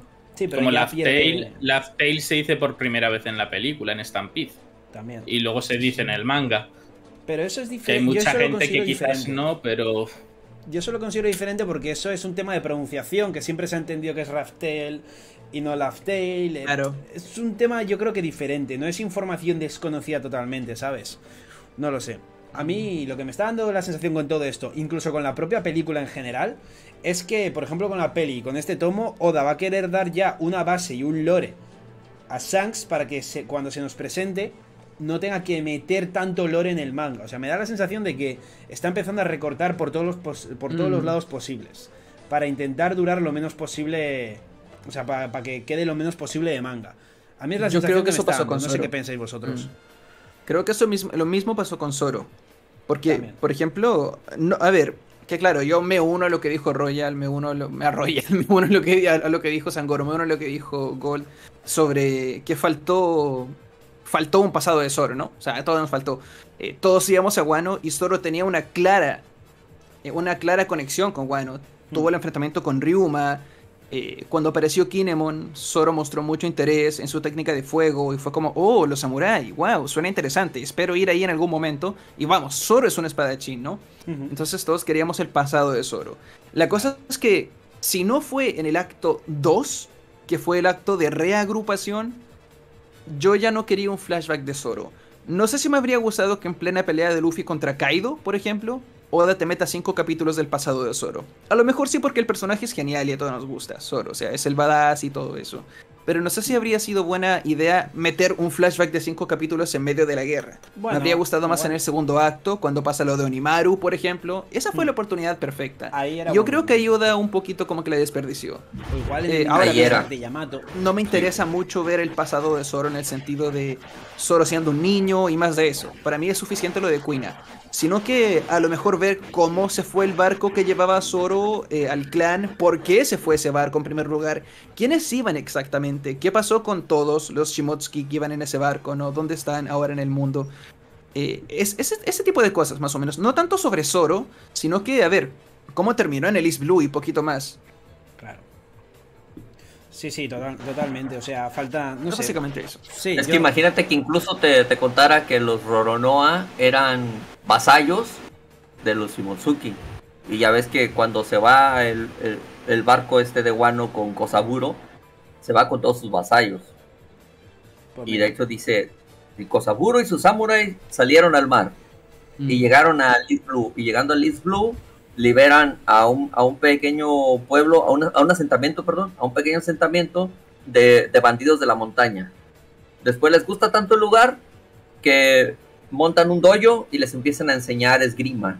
Por eso toda la gente que nace en Villa Shimotsuki sabe usar el estilo, el estilo de los Shimotsuki de espada. Y después de esto, se funda la Villa Shimotsuki cuando Kosaburo se casa ahí y se establece. Entonces, probablemente, en un hipotético caso, podría ser que los Roronoa vengan a ser vasallos directamente de los Shimotsuki y esa sea la relación. Pero eso te lo pudo haber contado en, precisamente en ese momento que dices, cuando, cuando está hablando Kosaburo en el pasado. Claro, también ahí. Sí, totalmente. No sé, a mí ya os digo, eh, haya o no haya habido flashback de Zoro, por ejemplo, lo del tema de que te lo haya contado así en el SBS me ha mosqueado bastante. Pero bueno, eh, a nivel general, ¿vosotros creéis que lo que resta de serie va a ser así de apresurado también? ¿O Oda cuando toque se lo va a tomar con calma? ¿Gol? No lo sé. Es que esto también lo de las cosas que a veces como que se puede estar metiendo mucha prisa. No sé si quizás sea contenido que puede que Oda haya recortado, pero por el hecho de que alguien lo haya acertado o algo de ese estilo. Pues bueno, todos tenemos en mente la cosa esta de que Oda dijo que iba a cambiar el final si alguien lo acertaba, ¿no? Que yo no creo que vaya a hacerlo. Quiero creer que, no va a hacerlo. A no ser que tenga ya varias posibilidades pensadas que encaje con el resto. Eh, los puntos fuertes espero que no los vaya a cambiar. Pero sí que me da la sensación de que yo me creo que haya cambiado cosas que la gente ha acertado, ¿eh? Por eso, porque es ese acelerón que pega de vez en cuando. Porque ya no es solo que te muestra algo rápido, sino que es que directamente a veces que ni te lo muestra. Ni te lo muestra, claro, tenemos que intuirlo y, entenderlo. Sí, y es como se lo salta, y eso es lo que me hace no tener mucha idea sobre qué puede deparar al futuro de One Piece en este tipo de cosas en lo más relevante. Yo quiero creer que por, eh, por la promesa de simplemente el One Piece, la Tail, el siglo vacío, creo que eso sí que lo va a explorar bastante bien. Pero quizás otros momentos que consideramos importantes, pero él puede que no tanto, sí que se vean como despachados muy rápido. ¿Y eso te preocupa? Sí, a ver, más que preocuparme es algo que directamente no me gusta. Es algo que preferiría que no hiciese. Sí, que, que al fin y al cabo es que es tanta especulación la que hacemos. Sí, es que quizás no tiene nada que ver nada de lo que decimos, es simplemente es como lo tenía planeado y ya está. Y igual, pues hay cosas, ahora hay más cosas que no nos gusta que hace que las que hacía antes. Así que no sé, es, es muy difícil. Habría que ver un poco más qué nos depara ya los siguientes arcos, al menos los el siguiente o los dos siguientes para ver si sigue este ritmo o no. Porque en Hulk Kick, por ejemplo, yo no sentí eso. No, en Hulk Kick para nada. O sea, ha parecido que se, tomó su Claro. No hubo apuros, tuvimos 10 mm, capítulos en el bosque de la, en el bosque de la seducción, de los engaños, no sé cómo se llama, ¿no? Fue como... Eh, esa parte fue lentísima. Y el Wedding Cake, Wedding Cake, la Y el Wedding Cake, Wedding Cake. O sea, oh. Oda estuvo haciendo todo menos acelerarse en esa parte de la historia. Sanji cocinando el pastel y, demás. O sea, se tomó su tiempo para, para cerrar todo en Whole Cake. Exacto. Y no sé, de repente que en Guano, bueno, en Guano, a ver, como tal en Guano, lo que es Guano Guano, no Nigashima, sino Guano, tampoco ha tenido prisa. O sea...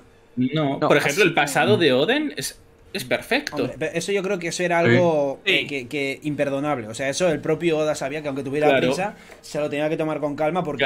eso es lo que me hace confiar un poco. Una base. Aunque también Claro, eso, lo, el argumento de si quizás recorta cosas que la gente adivina o no, entiendo que lo de Oden no lo adivino casi nadie. Acerca de lo de los piratas de Roger y toda esa vida que tuvo. Entonces quizás eso es lo que le llevó a mostrarlo o quizás le llevó a mostrarlo mm. simplemente que es algo que tenía pensado desde hace muchísimo tiempo y que es muy importante. Ojalá sea lo segundo, porque si es lo segundo, significa que debería seguir haciendo lo mismo. Claro. Pero creo, que con, creo que con lo de Oden creo que con Loden dijo que tenía 14 años esperando mostrárnoslo. Ya ves. 14 hmm. años. O sea, piensa que muchos mangaka lo que hacen es apoyarse de Japón, porque eso es más fácil. O sea, si tú me dices que hago un manga basado en mi cultura, para mí va a ser muy, muy, muy fácil. Pero Oda tomó el camino, Oda tomó el camino difícil. Por ejemplo, a ver, no es por menospreciar Naruto, ni mucho menos, me encanta el Naruto chiquito más que nada.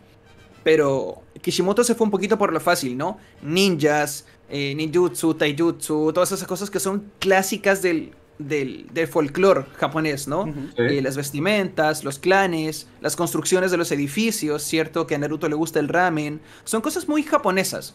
O sea, Kishimoto en este caso se saltó esa gran parte del proceso creativo, no tuvo que crear un universo, porque básicamente puso un Japón, ¿cierto? Eh, y, y básicamente jugó jugó de local, ¿no? En, casa. Oda se demoró, ah, claro, Oda se demoró 21 años en recién sentirse con la comodidad y tomar ese pequeño tajo de poder crear guano, de poder crear un arco sin tener que crear una ciudad zombie, sin tener que crear una ciudad con una fuente gigante arriba, con una construcción de universo maravillosa como lo he hecho en todos los arcos. Y estudiando las culturas de, cada, de cada lugar. O sea, exactamente. Quizás Oda Probablemente viajó a Venecia, por ejemplo, durante una semanita a tomar fotos para hacer Water 7, o, a Barcelona a lo mejor, o a estudiar las obras de, de Gaudí para hacer eh, Rosa, ¿no? Pero, claro, eh, o sea, tuvo que haber sido muy difícil para él aguantarse a hacer un arco ambientado en Japón. Y se nota porque hay color spread desde los primeros cinco tomos de One Piece, donde Oda ya estaba dibujando a Luffy, Zoro, Sanji. Incluso el símbolo de los Kosuki. El símbolo de los Kosuki, ¿no? Y disfrazados de samurái, de ninja. O sea, a Oda le fascina el folclore y la cultura japonesa. Para él fue muy difícil aguantarse 21 años. De hecho, bueno, creo recordar que, ha mencionado más de una vez que llevaba mucho tiempo esperando no solamente el flashback de Oden, sino el arco de Guano, que llevaba años deseando hacerlo. Claro. Sí, sí. Pero esta recta final, no sé, es que me da la sensación de que ha acabado hasta la polla de, del arco de Guano. Es que es la sensación que me da, de verdad, que yo estoy un poco, estoy un poco a disgusto con esa, o sea, el último capítulo, a diferencia de vosotros que habéis comentado que no os terminó de gustar, a mí el último capítulo, menos lo de Yamato, sí que me gustó porque lo siento como, como, muy satisfactorio. O sea, como muy. O sea, eh, el clan Kosuki te lo presentan restaurado. Todo empieza bien. Eh, ¿Sabes? O sea, como que empieza la paz que durante 20 años se ha estado buscando en Guano. Entonces, para mí, sí que ha sido satisfactorio ese último capítulo y demás, pero lo que es la recta final es eso. O sea, es que en, en seis capítulos te aparece Green Bull te desaparece Green Bull. Eh, se, Llega todo ya va bien, de repente te aparece Shanks por la cara, que a mí eso me gustó mucho. sí. Faltaba, que llegue Im, nada más. Eh, tal cual. iba pasando por Guano y dijo, ah, voy a ver qué pasa. tal cual, tal cual. Entonces es eso, es como que en seis capítulos te ha metido como un montón de cosas de bait, no bait. O sea, te aparece Zunisha, luego se pide a Zunisha sin hacer nada. Eh, yo qué sé, como Green Bull lo mismo, te aparece y no hace nada. O sea, bueno, te crea un poco de, de, vegetación para poner más bonito Guano y hacérselo más fácil a Momo. Y, y ya está, pero... Fíjate que hay un diálogo ahí cuando aparece Zunisha y desaparece y que muchos hemos tomado un poco desapercibido, y es que el, el, Gandhi, el, el del Gorosei, comenta que si Sunisa se fue, es que todavía no es tiempo de abrir las fronteras de Guano. Sí, eso. O sea, ellos saben, ellos saben. sobre eso. Lo saben, lo saben, sí, sí. Eso yo me quedé muy loco cuando, cuando lo leí también. No, no me acuerdo de ese detalle, wow. Sí, sí, creo que es el 1051, me parece. Sí, donde, lo saben que Zunisha tiene esa labor. A mí eso me parece algo muy importante. Eso es, que, eso es que conocerán posiblemente la parte del siglo vacío que corresponde a, los D. Mm. O sea, no solamente conocen su siglo vacío, de lo que hizo el gobierno y todo, sino también saben de las tres armas ancestrales, saben de, las fronteras de Guano, la labor de Zunisha y, y todas esas cosillas, sí, sí. Mm, pero me causa gracia lo que dijo. O sea, lo que. De repente nos dimos cuenta de que Guano es el arco del boy, pero me arrepiento o me pasa algo y me devuelvo y no hago nada al final. O sea, lo mismo le pasó a los piratas por eso, Por eso, por eso me puse el, uniforme del Paris Saint Germain, porque el Paris Saint Germain todos los años está así para, para romperla y, llegar al final de la Champions y ganarla y siempre se queda a la orilla. Ah, por eso, Ahora aquí a, a, Oda le pasó lo mismo con Guano. Fue tan ambicioso y reunió tantos tantos elementos así para, para romperla y al final se quedó a la orilla. Esa es una buena palabra. Esa es una buena palabra. Oda fue muy ambicioso. Y se nota, se nota porque a veces por un capricho Oda termina más o menos cagándole, ¿no? Ya tenemos, eh, ya tenemos el caso, por ejemplo, de del Yerma Doble 6, que Oda quería que solamente sea un hermano. Pero como a la hija de Oda le gustaba Somatsu-san, que eran varios hermanos, dijo, bueno, para hacer feliz a mi hija voy a hacer que Sanji tenga tres hermanos, ¿no? Y yo digo, a ver, ¿era realmente necesario que sean nueve vainas rojas O sea, claro, ustedes van a decir, Gadito, a mí me gustan todas las vainas rojas. Sí, a mí también me gustan todas, son geniales. Kawamatsu, Doji, todos son geniales, ¿no? Pero a lo mejor, si las dejaba en 5, por decir un número, se habría ahorrado muchos capítulos y habría hecho que el arco tenga un mejor ritmo. Y habría podido usar ese espacio en otras cosas. Y claro, encima si agregamos de que no terminaron haciendo ningún aporte sustancial en la guerra, más que sostener el fuego o algunas cositas, eh, las vainas sí quedan más o menos en el aire. Cierto. Creo que son que por cierto, mm. con los piratas bestias al final, ¿qué pasa? Porque no hemos visto a los barcos de la marina ir a por ellos. Y no sé yo si van a poder ir en el momento en el que Ryokugyu salió por patas por ahí. Mm. Es decir, van a tener que subir sin que nadie se dé cuenta. Igual prisioneros en Wano, en el propio Wano. O sea, en, Udon está King Queen, pero claro, la cosa es, como bizarro. O sea, en Udon está King, Queen, todos los Tobiropo. Incluso, a ver, es que, claro, eso es lo gracioso, porque ¿qué pasó con Perospero? Estará ahí, eh, estará muerto. Y, con los hijos de Big Mom, el barco. Está, eh, pero Espero fue, o sea, se lo balasearon básicamente, ¿no? Creo que no claro, y los, hijos de volar mitad los hijos de, los hijos de Big Mom, lo último que supimos de ellos fue lo que comenta Morgans. Que la última transmisión que hizo el CP0 antes de que desapareciera de los radares del gobierno mundial era que ves que vieron de frente el barco de Big Mom. Mm. Probablemente salvaron a Perospero, alguno de ellos. Tipo en una mini historia van a mostrar que Perospero está curándose en el barco. No sé. Pero igual subir guano no es tarea fácil. Y a saber si Big Mom también, ¿eh? Cuidado, y la, y la veamos en Cuidado, cuidado con eso, así es. Con una mega cicatriz ahí. Es que, es que, a ver, ¿qué pasa con Oda? Oda es un experto en decepcionarnos, pero no solamente en decepcionarnos, sino que hacernos enojar por decir, pero hijo de puta, te odio, pero tiene sentido lo que estás haciendo, ¿no? Que es como lo de Kinamo partido a la mitad, que es no, hijo de puta. ¿no recuerdan, ¿No recuerdan el capítulo 900? Eh, el 900 que cuando, cuando, cuando destruyen cuando destruyen el, el, el Thousand Sunny. Ajá. Roger. Sí, sí, sí. Pero bueno, a eso me refiero. O sea, pueden hacerlo también perfectamente con Kaido. Oda por algo agregó la escena del volcán marítimo explotando, ¿no? Sí, sí, eso, eso Cuidado, no Eso es verdad, sí. Eso y, usó una usó una página y media completa esa viñeta. Entonces, espérate que en unas semanas vamos a ver o la mini historia de qué sé yo, y van a mostrar a Kaido y Big Mom encadenados con Kairoseki en Udon. Porque resulta que la explosión los hizo salir disparados inconscientes. Eso o algo muy clásico entre los villanos que, salen mutilados, en las historias y es que abren mm. su humilde negocio de algo. Guapo Metal, eh, Kaido Metal, no sé. Caramelos Big Mom. Caramelos, Lim Charlotte. Pues sí, pues sí, pero bueno. Y de los hijos de Big Mom, entonces, ¿esos pensáis que se van a pirar tranquilamente? En caso, vale, supuesto A, Big Mom está viva y, puede pasar cualquier cosa como la que has dicho. Supuesto B, eh, Big Mom no está viva o Big Mom desaparece de la tripulación de, los piratas de Big Mom. Eh, ¿Qué pasaría con esos piratas? ¿Habría una banda de Shirohige 2.0 donde todos se dividen y ya está? ¿Katakuri o Perospero toman el mando? Eso también puede ser muy determinante para la historia, ¿no? Porque si se disuelve... Igual hubo foreshadowing, ¿eh? Igual, igual lo dijeron, que Katakuri iba a ser el capitán si Big Mom perecía. Cierto, pero es que ahí ya depende que suceda, aporta la historia de una manera u otra. Si se disuelven, como los planetas de Shirohige, nos olvidamos de ellos y fuera. Por cierto, eh, Totland, territorio pendiente de, ser eh, conquistado por alguno, en caso de ser eso. En caso de que Katakuri o Perospero tomen las riendas, la historia torna de otra forma, porque con Perospero igual siguen más o menos el mismo rollo y con Katakuri igual puede haber alguna cercanía a Luffy o lo que sea, ¿no? ¿No, sientes, ¿No sientes que puede pasar algo como con los Piratas del Sol? Que se dividieron en dos grupos, los Piratas de Arlong y los de Ginpe. Ah, pues mira, pues podría ser también, ¿no? Pero espero y... Claro, yo iba a decir que, que, una guerra civil entre ellos. Sí, sí, que cuando, cuando cae Fisher Tiger, como no se llevan, se dividen. Y ahí puede ser los que vayan con Perospero y los que vayan con Katakuri. Y luego no olvidemos lo que está pasando en las mini historias del manga actuales, que me parece bastante, bastante interesante. ¿eh? Ahora la aparición de Katakuri y demás, ese duelo. Katagod. Katagod. Hay una cosa que me llama mucho la atención y que dije ya en la introducción de mi video. ¿Se acuerdan de una pequeña trama que quedó en nada?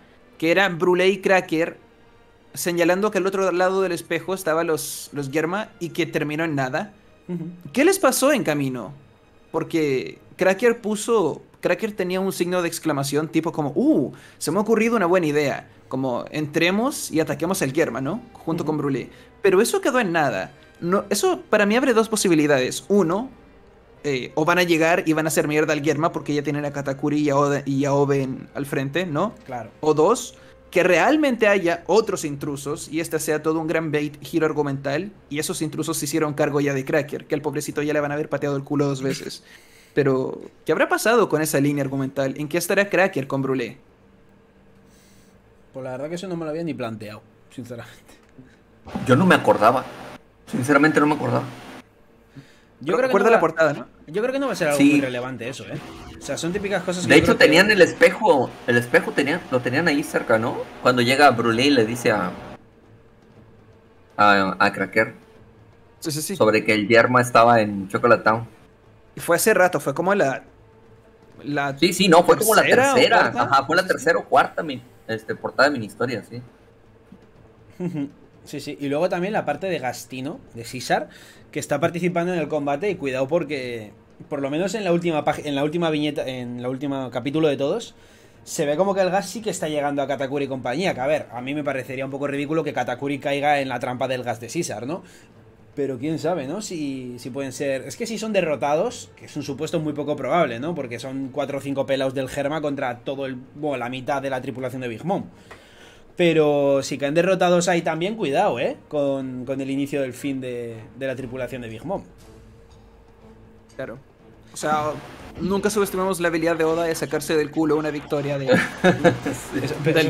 eso, es lo que dijo Stan Lee, ¿no? Al final, que por mucho que, un enemigo o un. El, autor va a decidir. El autor va a decidir quién gana, por mucho que la lógica y la fuerza de uno sea más, más poderosa. Si el autor quiere, va a ganar. Y eso se ha quedado, ha quedado claro en cualquier historia, vamos. O sea, una muestra, una muestra eh, perfecta de eso es la habilidad de César de quitar el oxígeno de alrededor. O sea, estaba rotísimo en Por lógica es de los personajes más fuertes, César. Eh, sí, pero claro, en la fiesta del té no se le ocurrió quitar el oxígeno que rodeaba a Big Mom, ¿cierto? Porque, bueno, el guion así lo requería. Pero bueno, es, es, César también, en una de esas. Es simplemente un idiota, pero... Mm. A ver, también siempre tiene que hacer limitaciones con los poderes Oda para meter ciertos poderes. Porque simplemente Kurohige, agujero negro, pues un saludo. Sí, claro, pues una isla, ¿no? agujero negro es que no hay nada que puedas hacer contra él.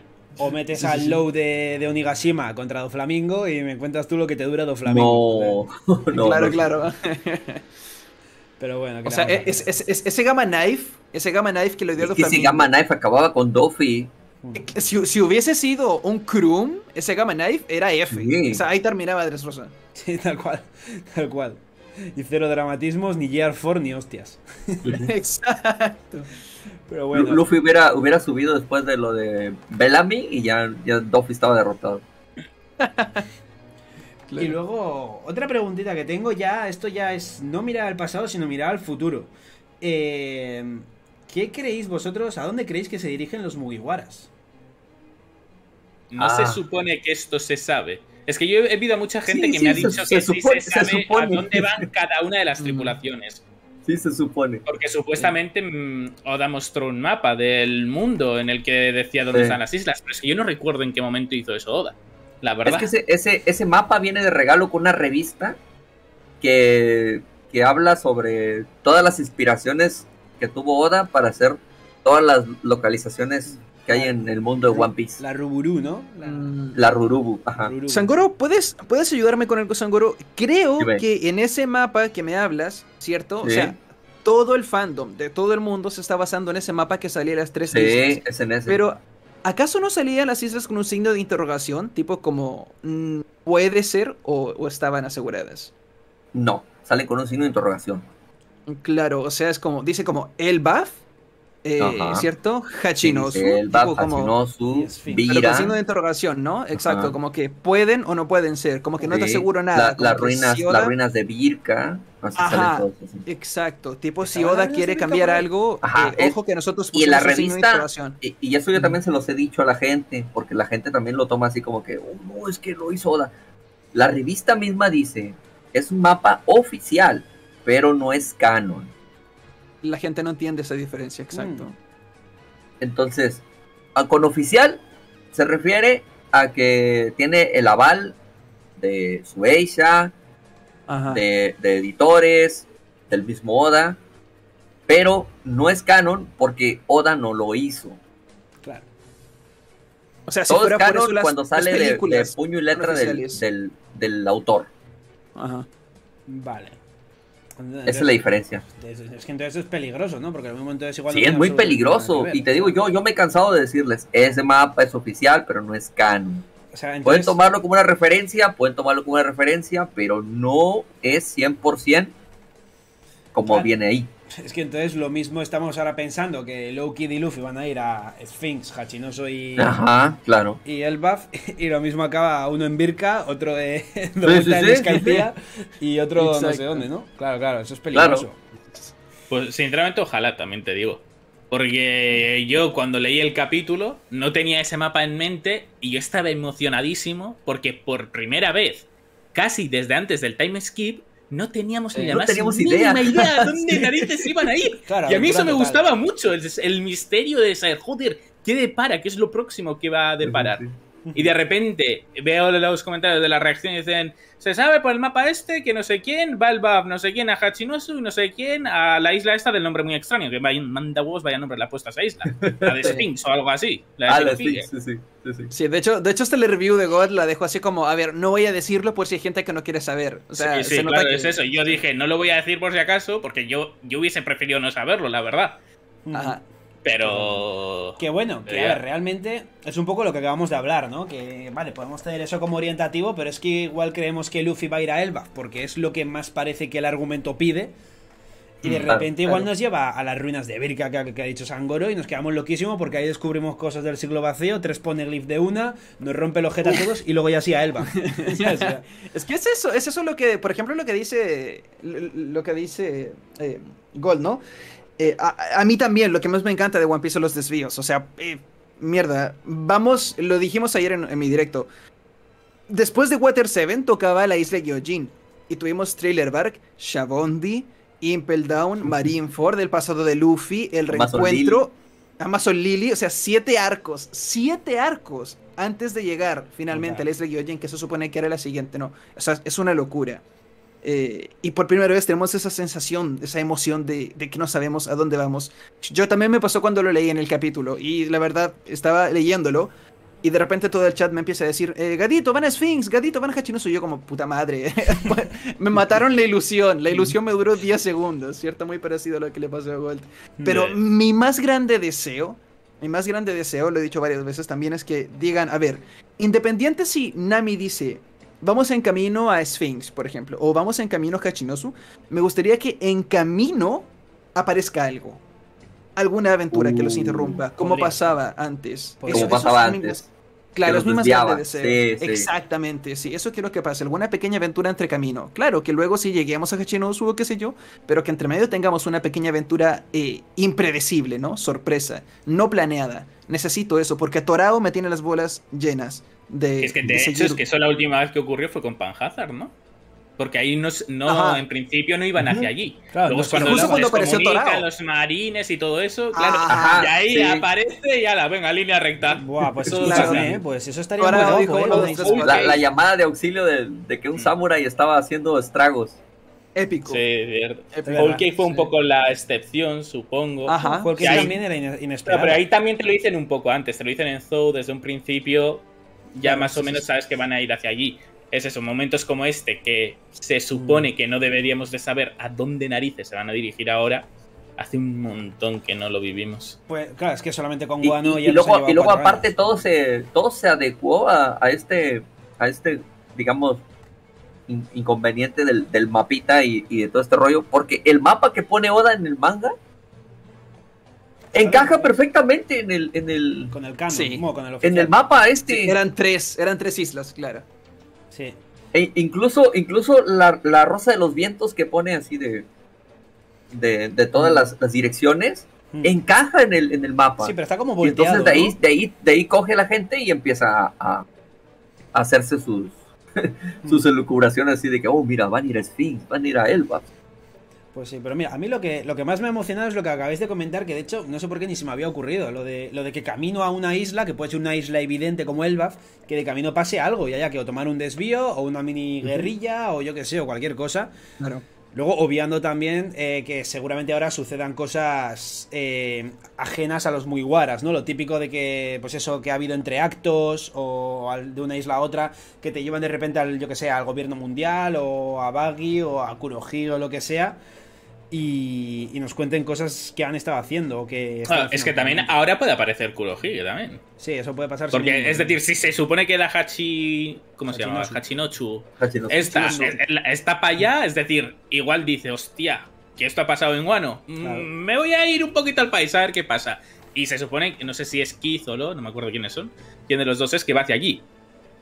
Igual Kurohiga ha salido antes y los tres, que no se han separado todavía, las tres tripulaciones. Batalla naval, uh, batalla naval. En la cara.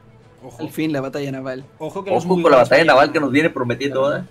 Y tampoco, tampoco pensar que nos estamos separando de Lo para siempre, porque igual No, recordar que no, estamos, en la no. misma, esta- estamos en la misma altura, o sea, Sí, sí, va- no. vamos más o menos al mismo ritmo. Prontito va a Ah. volver a aparecer el toreo. Sí, Sí, seguro, seguro. Y de hecho yo veo probable que aparezca con más poneglyphs y le diga Robin toma, Robin leme. Estaría épico. Porque claro, él quiere saber la historia de los Deep, pero no tiene eh, quien le lea los, los poneglyphs para conocer la historia. Entonces, bueno. Lo- luego ¿Le- tenemos ¿Le habrá el, enseñado Robin algo? Porque él, O sea, vamos, oye, hace eso unos cuantos cierto. capítulos estaba como muy interesado en aprender sobre eso. Mm. Y de hecho ya Es vimos que le, verdad. interesaban- le empezaban a interesar bastante los poneglyphs, lo que vimos, ese, vamos, el propio Lo frente a un poneglyph en Onigashima. Yo tengo Me, una me acabas, me acabas de recordar, Mm. Gold, algo. No vimos, ni- no vimos ninguno de los seis poneglyph que han, que han reunido desde, desde Whole Cake hasta Juan, Ajá. Supongo que eso también se lo está guardando, ¿no? Para el final. supongo. Porque a ver, las a ver, veces si que se guardó... visto, Robin el Learlo tampoco ha hecho mucha cosa. eh, si se guardó el de Arabasta durante 900 capítulos, perfectamente puede guardárselos de acá. Es verdad. Es que que, es Plutón que mira, estaba en Guano. sí. ponle, ponle que los dos Road, pues ahí, aunque sepamos, ni idea. Pero los otros dos que Jinbe le fue a, a regalar a Big Mom, más el que está en el salón de, de juegos de, de Tenguyama, y el otro que estaba en Onigashima, En Onigashima, sí. son cuatro. Sí, sí, sí, que hay unos cuantos, vaya. Pero eso, eso supongo que se los estará guardando, porque. Ah, Es que se supone que te cuenta parte de la historia, ¿no? Algunos de los Sí, sí, poneglyphs. sí. Pues eso, supongo que eso llegará a Laugh Tale. No sé si ahí te encontrarás el último poneglyph o algo y te dicen, vale, ya tengo toda la historia. Sentaos que os la leo. Y, Tal sí, cual. y to- todavía hay que ver si son parte de los nueve que cuentan el río Poneglyph. Hmm. Hombre, alguno, alguno hay por probabilidad, no me jodas. Sí, por probabilidad, obviamente, sí tiene que haber alguno. De hecho, más de uno, seguramente. Ima- imagina que uno, uno diga lo de Urano, porque es el que falta. Y, y todavía sería peor si de veras los acompañó Caribú y Caribú escucha sobre lo de Urano, porque ya, ya escuchó de Poseidón, de Plutón, Claro. te falta Urano. Con el tema ¿Qué de, cosa? la- de las armas ancestrales, no sé si os habéis dado cuenta, con los poneglyphs que revelan cosas de las armas ancestrales, pero siempre están como en el lado contrario. Es decir, el que Sí. habla sobre Poseidón, Isla Yojin, está en Skypiea. Y el que habla sobre. sobre. sobre Plutón, Plutón. que está en Guano, habla, se habla en Arabasta, que es eh, como paraíso y nuevo mundo. Entonces faltaría Sí. uno que no sé cómo se podría ver, si no sé si era casualidad o que Oda lo ha hecho adrede, pero bastante curioso. Yo creo, cre- creo que es un sistema de defensa muy épico, un sistema de seguridad. Tipo, para que la persona que se encuentre el poneglyph en Arabasta no lo tenga servido en bandeja, ¿cierto? Que el poneglyph no diga, bueno, felicidades por encontrar el poneglyph. El arma Claro. ancestral se encuentra en el piso inferior, baja otro lado la del escalera mundo. y ahí la tienes, ¿cierto? Claro, que se le agregue otro nivel de dificultad. Claro, felicidades, me encontraste el encanta, me poneglyph. encanta, sí. Ahora cruza todo el puto mundo y entra a, las, a, Sí. a- a la tierra Llega de Guano. Claro, claro. Exacto. De Derrota esos a samuráis Kaido, legendarios que... Muy A ver cómo le haces. Que o sea, por cierto, lo de, lo de que Plutón esté en Guano, ¿no os parece que pierde un poco eh, el- en la relación de Robin y Crocodile? Porque se supone que Crocodile mandó a la mierda a Robin porque le mintió sobre el Poneglyph y sobre Plutón, al decirle que no estaba en Arabasta. Y resulta que era verdad. Era verdad. sí, era verdad. O sea, Robin le decía la Es decir, no, le mintió. De hecho, hasta ese momento la verdad, siempre se ha creído que Plutón estaba en Arabasta. Claro, que Plutón estaba en Arabasta. De hecho, yo me fui, a, me fui a releer ese capítulo, pero si no me equivoco, Crocodile la mata más por el... Porque ya básicamente falló el plan. Era eso. Era, a ver, el plan me funciona acá o te mato. Era así de simple. Hmm. Eh, Independiente, sí. exactamente, vaya. Y, además, y además eh, eh, Robin empezó a, recitar una, una serie de dinastías. Mm, claro. De reyes de Alabasta. Claro, yo creo que incluso si Robin le decía, mira, ¿sabes qué, Crocodile querido?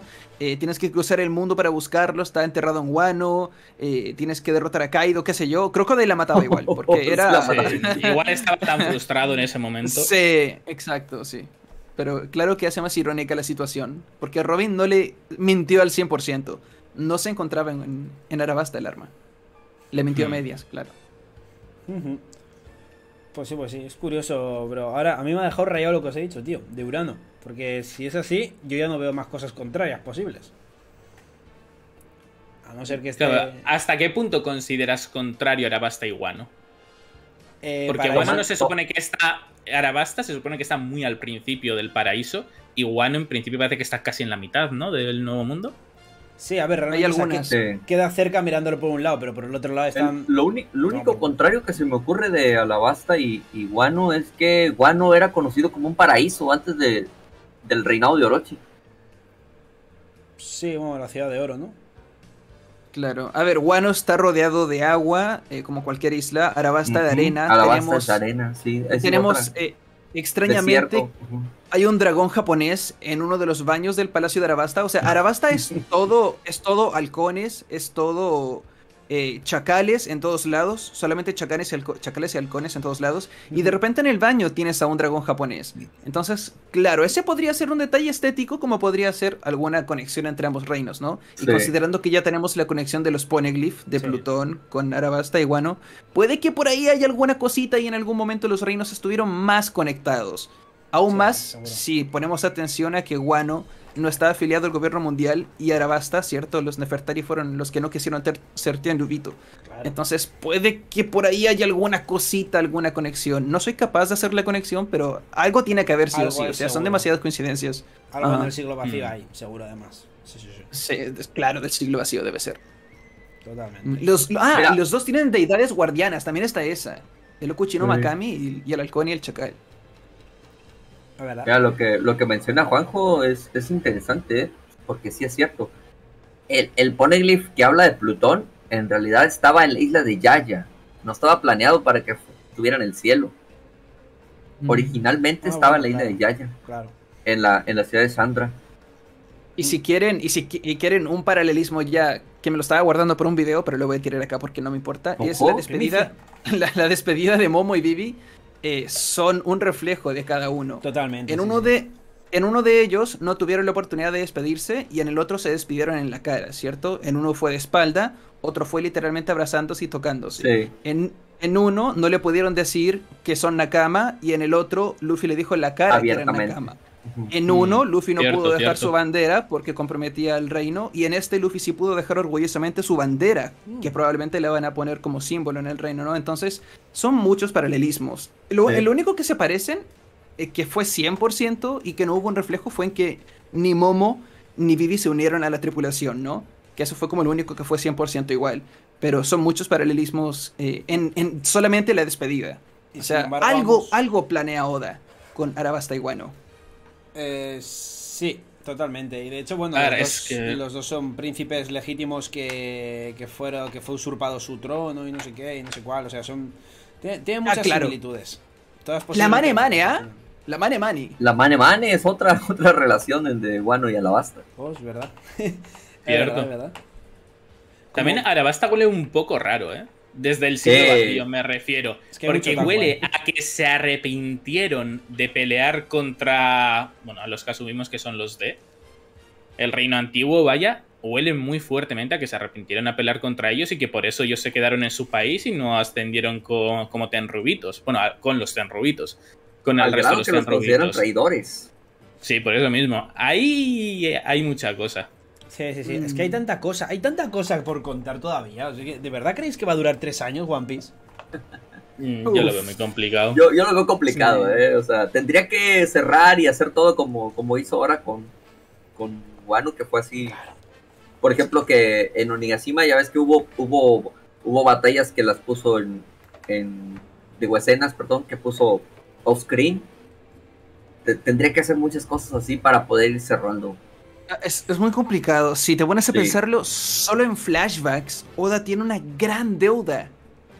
Que Bien, del siglo vacío. Del siglo vacío, ¿no? Que mierda, realmente, ¿qué sucedió ahí? Hace un rato hablábamos, por ejemplo, del flashback de Kaido, que fue insuficiente, y a pesar de que lo he dicho varias veces, por si hay gente que aún no sabe, eh, mi opinión es que eh, sí, el flashback de Kaido fue insuficiente para todos, pero Oda está tomado de las bolas, ¿cierto? Si Oda cuenta el flashback de Kaido con mucho detenimiento, se le saldría eh, mucha información sobre Rox, que probablemente está guardando para contar más adelante. Esa, es mi esperanza. Pero ¿en qué, momento te pueden, ¿en qué momento te pueden hablar más de Rox? ¿Con Shanks?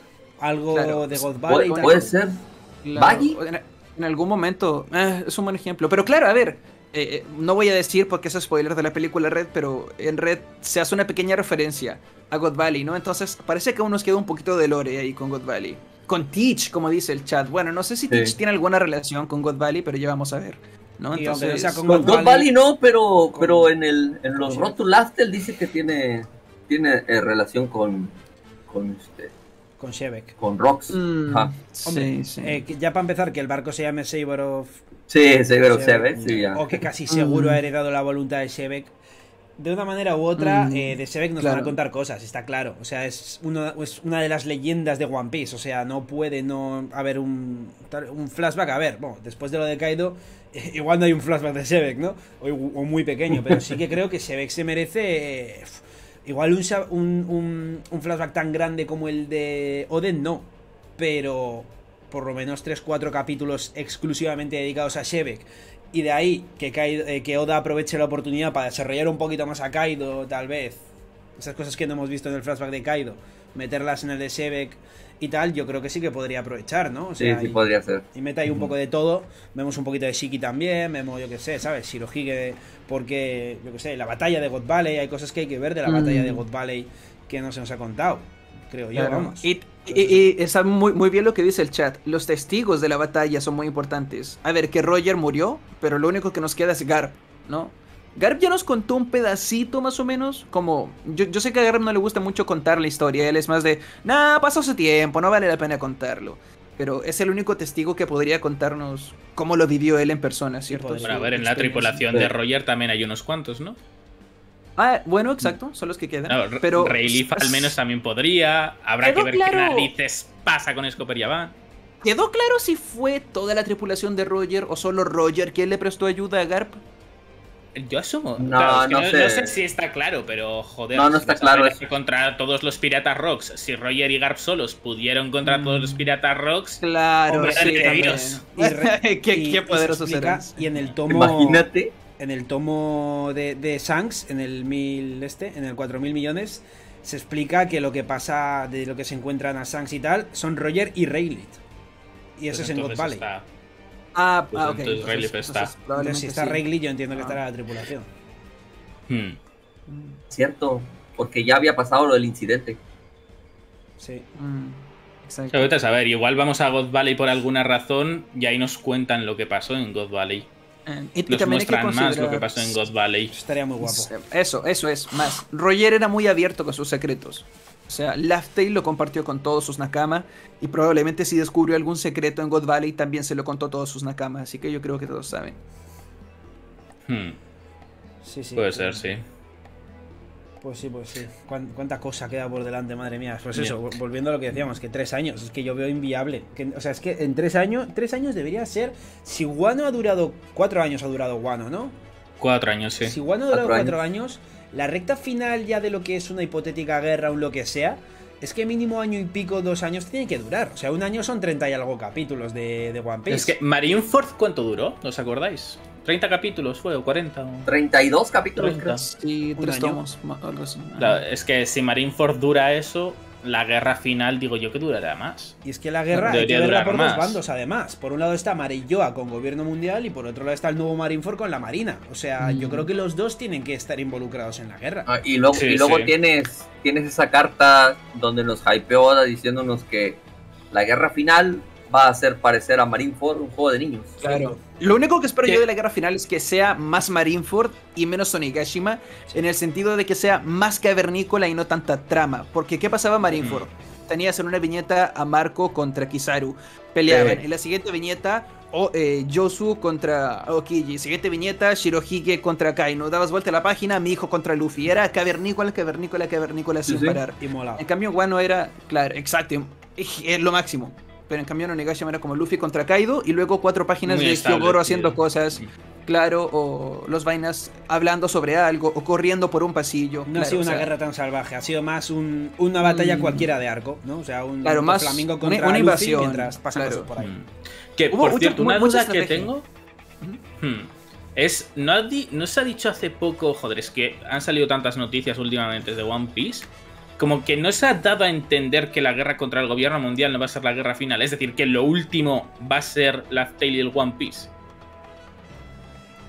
Ha habido algo que yo. es que algo me suena que se ha dicho eso. No sé dónde he escuchado yo eso, pero eso yo también lo he leído en algún lado. Es que yo creo que se lo leía a Arthur, pero es que no me acuerdo. Sí, como que, como que no va a enfrentar Luffy al gobierno siendo el rey de los piratas, sino que primero va al gobierno y luego ya se hace el rey de los piratas. Mm. Algo de eso he leído yo en algún lado mm. y no me gusta la idea.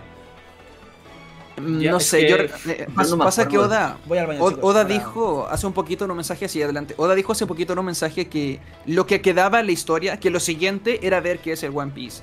Así que probablemente yo creo que sí va a ser primero Rey de los Piratas y luego pues lo demás. Y yo creo que eso es una estrategia buena de parte de Oda para que el fin, para que el qué es el One Piece no arruine la obra. ¿Cierto? Porque ¿qué pasaría si eso pasa en el último capítulo? Sería el más grande spoiler en la historia de la ficción. Alguien comienza a ver One Piece y le dijeran, bueno, el One Piece es tal cosa. Eh, a esta persona le arruinarías el último capítulo, ¿no? En cambio, si el One Piece lo presentas y luego te quedan aún 100 capítulos para desarrollar otras cosas importantes, eh, le daría un nuevo valor al post revelación de lo que es el One Piece. Espero que sea el caso. Realmente no sé si me gustaría que la obra termine como Luffy rió, jajaja, fin. No sé, no me gustaría. O Luffy se convirtió en el rey y fin. Me gustaría que luego del One Piece tuviéramos el siglo vacío o algo así. O sea, es más, el, One Piece va a revelar cosas. Claro, es que muchos creo que tenemos asumido eso desde hace mucho tiempo. Pero es claro, es que yo leo esas cosas y me hace entrar mucho en duda. Porque es que, claro, capaz es que quizás todo el tema del siglo vacío no lo lleguemos a conocer en Laugh Tale, ni al encontrar el One Piece, sino que lo conozcamos antes. Al fin y al cabo, lo hemos dicho antes, los del Gorosei parece que saben muchísimo. probablemente, de hecho, sepan todo. Por lo tanto, quizás la historia del siglo vacío se nos cuenta a través del Gorosei. y ah. en el One Piece hay algo más que sea eso, y ahí termine con el Luffy se río y termine así. Yo sigo. A mí me sigue gustando más lo de que el final sí que sea contra el gobierno mundial. Pero no sé, eso es que me dejó muy descolocado. Esa supuesta cosa que ha dicho Oda. también por una parte, es que me molaría lo de la guerra por el One Piece. También por cómo ha terminado esto de Keith y de Lo. Por una parte me gustaría bastante que fuese casi como un Battle Royale por el One Piece. Es decir, al final de la obra, muchísimas bandas piratas enfrentándose entre sí hasta llegar al One Piece. ¿Qué pasa? ¿Qué problema hay ahí? Los piratas de Kurohige. ¿Qué narices haces con eso? ¿Los derrotas mm. antes? es que ¿Los haces que... se enfrenten a todos? Es que eso. sí. es, que, es que puede ser eso, ¿eh? Puede ser eso. que... Quédate eso. ¿Qué pasa con los piratas de Shanks? También, claro. No, Shanks parece que tiene un papel. Ah, no, la pensado, pero ni idea. Cuidado con Shanks. ¿Habéis visto el anime? Eh, no. Oye, en, el anime, en el anime insisten en ponerlo oscuro. Así, Dios mío. Sí, Judanks. sí, sí, sí. O sea, impresionante lo, que hacen con, que hay. Ahora mismo Shanks es el personaje más turbio que hay tras lo que han puesto en el anime, o sea. En el anime, en ¿Viste, el anime ponen a, ¿Viste el diálogo de Sengoku? Sí. El diálogo de Sengoku yo lo vi. A mí eso tuve que pausarlo. ¿Haciendo Toei? Tuve, tuve que pasar. O sea, Gold, para que te hagas la idea, dice. Mira, mira, la recompensa de Shanks y dice, y dice Sengoku: Si Roger viera esto, estaría llorando por ti, Shanks. O sea. de, algo que ha hecho Mm. Shanks. O sea, que a ver, es Sí. que realmente esa es, es relleno, en realidad, pero claro. Claro. Pero es un relleno, yo lo decía ayer en el directo cuando lo vi. eh, es un relleno. No sabes que hasta dónde es canon. punto- hasta Se nota punto- mucha manito de Oda. Sí. Se nota manito mano. de Oda ahí. Pero Ajá, es sí, que sí, sí, yo sí. no sé hasta qué punto es esto spoiler de la película, y no sé si decirlo entonces o no, porque no es un spoiler sobre algo que ocurre, sino es más la sensación que se supone que te queda cuando terminas la película. Que no sé si comentarlo o no. Yo creo que Es- adelante, la es gente que no a oír, que, es- que, que silencie el directo 30 Claro. segundos. Eso es. no, no pasa nada, tú coméntalo. Dale, dale. Se supone que cuando terminas de ver la película sales con la sensación de que Shanks sí que es bueno. En plan, que, que no hay Mm. ni un ápice de duda de que es malvado. Nada, nada. Que es bueno 100% seguro. O eso es lo que tengo entendido también. No sé si también se lo leía a Arthur o a otra Eh, eso, persona. eso, eso lo dijo. No, eso lo dijo Oda en su última entrevista. Ah, bueno, igual sí, igual lo dijo Ajá. ahora, sí. Sí, porque le, le, le preguntan. Le preguntan así directamente. Así, ¿Shanks es bueno o es malo? Ah, pero no se moja, ¿no? No quiere. Y- No, claro, ajá, no se moja, no se que moja en la película se muestra. Claro, y eso, a mí Ajá, dice, ve a la película, decir ve la película si te que- quedan dudas. que viendo la película como que Ajá. sí que te aclaras que es bueno. Sí, sí. Pero claro, tampoco- sin ver la película tampoco puedo decir ah, eso, vaya, pero igual es una interpretación de una persona y es algo mucho más abierto.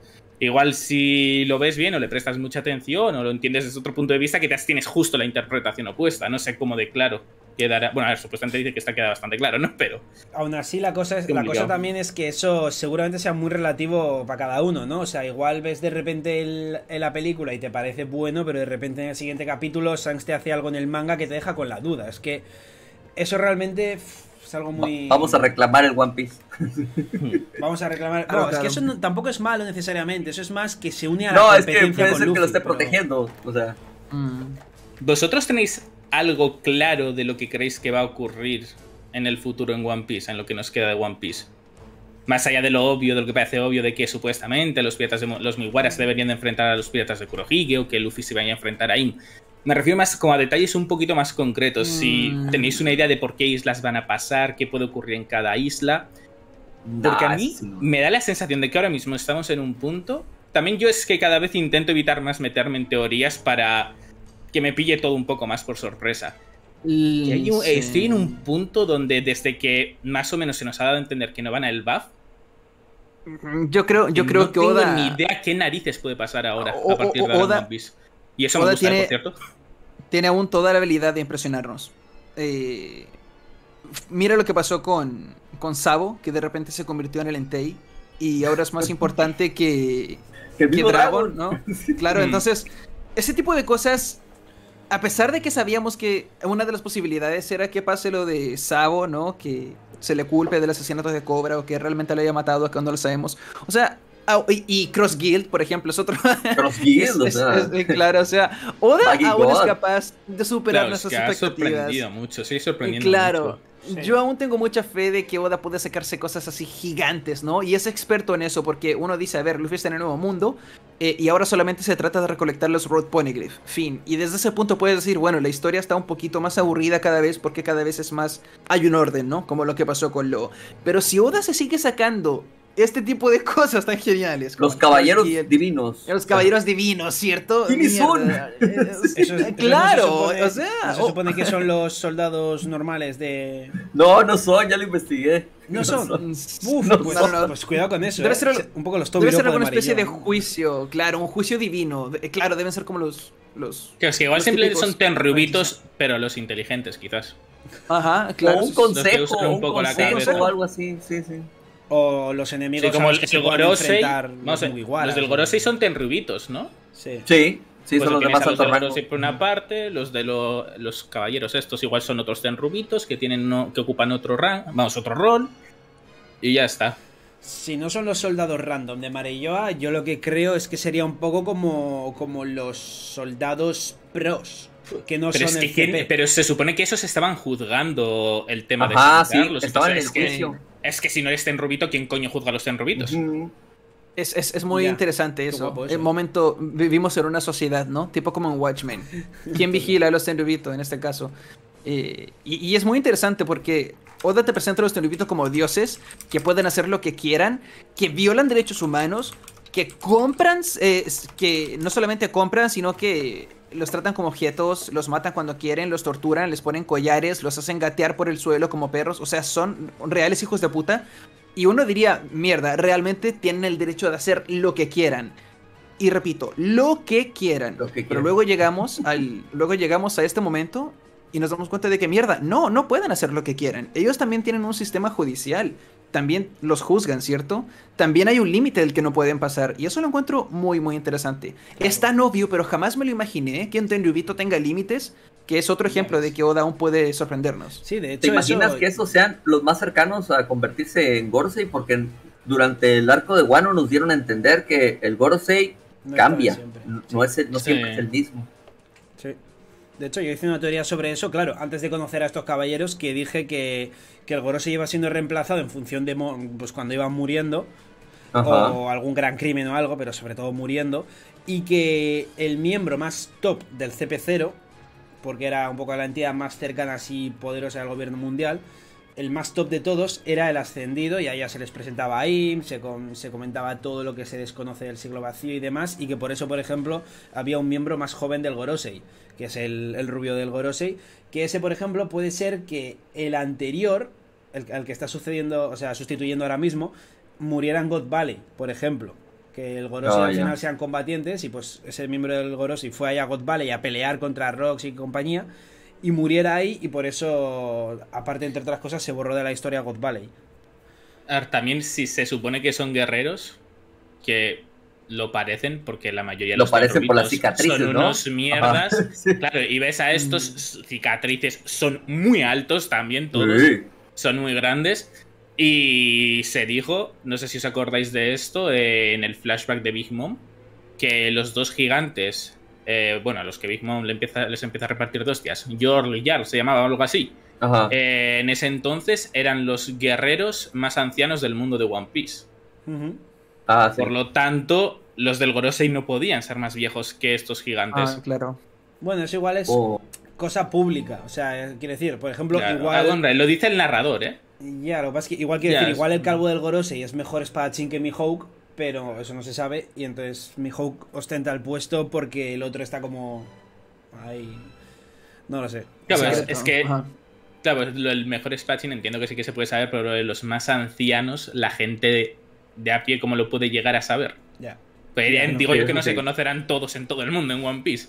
Y es muy interesante que lo digas de que pueden ser guerreros, porque los Tenryubitos se caracterizan por estar en mala forma, por eh, probablemente, o sea, todos tienen patitas pequeñitas, se nota que no ejercitan, siempre están paseando sobre sus esclavos, ¿cierto? No, no ejercitan los pies porque tienen las correas que los mueven en Mary Joyce, el, suelo se mueve, ¿cierto? Entonces claramente los tirubitos generalmente no entrenan, no son fuertes ni nada.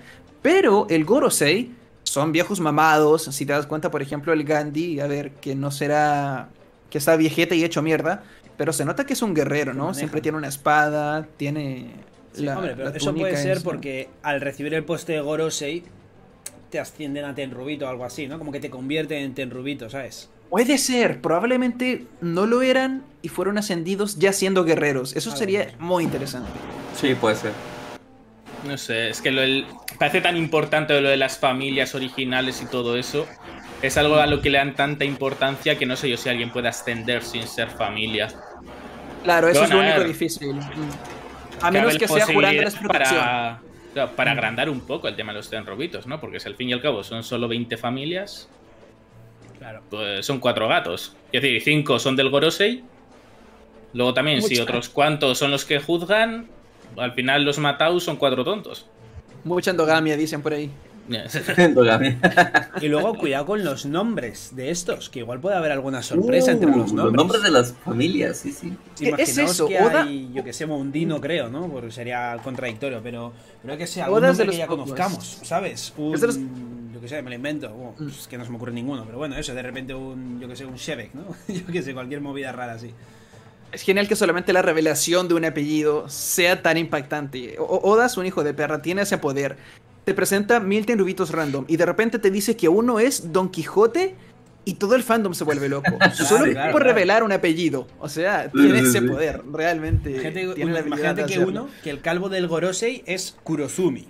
¿Sabes? Y que, claro, las, y que las palabras de, de, Orochi de el clan Kurosumi se vengan ahora, no sé qué tal, cobran sentido de repente con el calvo del Gorosei, ¿sabes?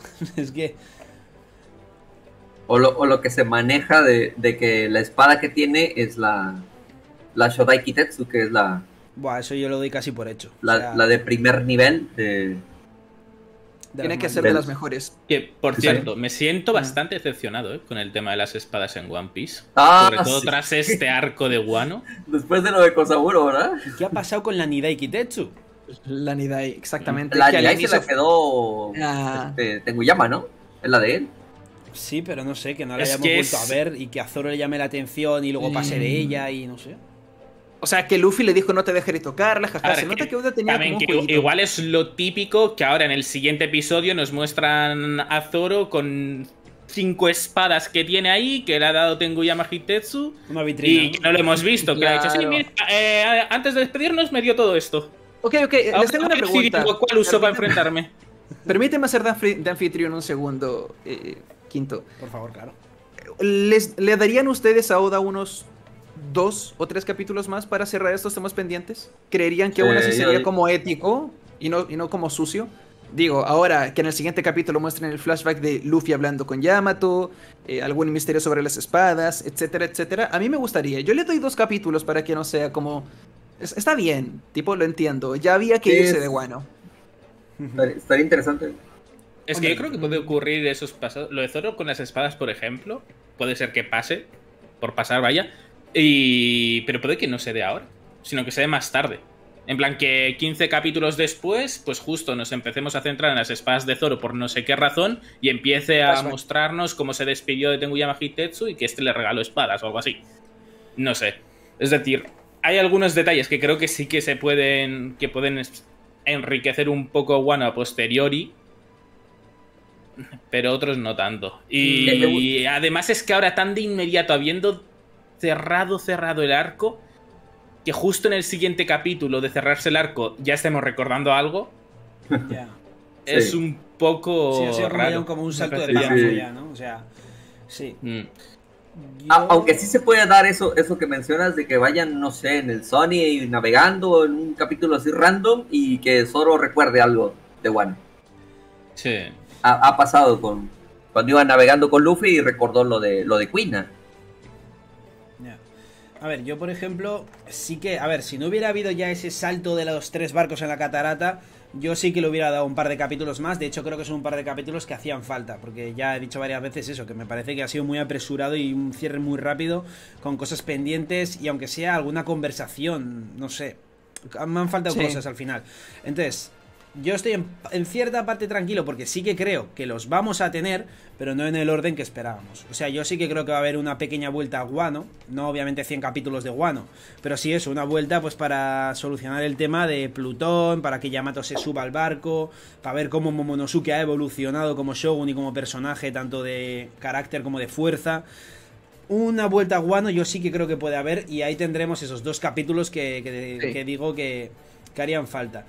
Sin embargo, también los habría puesto ahora, la verdad, pues para eso, para dar una sensación más calmada, mm. de, de salimos con, con, la calma, ¿sabes? Y con todo bien tranquilito y cerrado. Pero bueno. No había, no había considerado lo que dijo Gold, que todas estas cosas pendientes, Oda las puede usar como excusa más adelante para darte un foreshadowing. Y claro, es, jugar un poquito sucio, pero sí puede ser algo que me imagino que Oda está y son, Y son libertades que se puede tomar como, como escritor. Ajá, en, la siguiente pelea de Zoro, de, recordar Es que imagínate eso, que Zoro igual sí que ha visitado la tumba de Rima. Claro. Pues no lo hemos visto. Y lo ha hecho fuera de cámara ya. Exacto. A mí eso no me haría mucha gracia que no se haya visto, ¿no? Ya, dependería mucho el, el momento en el que pudiese mostrárnoslo después.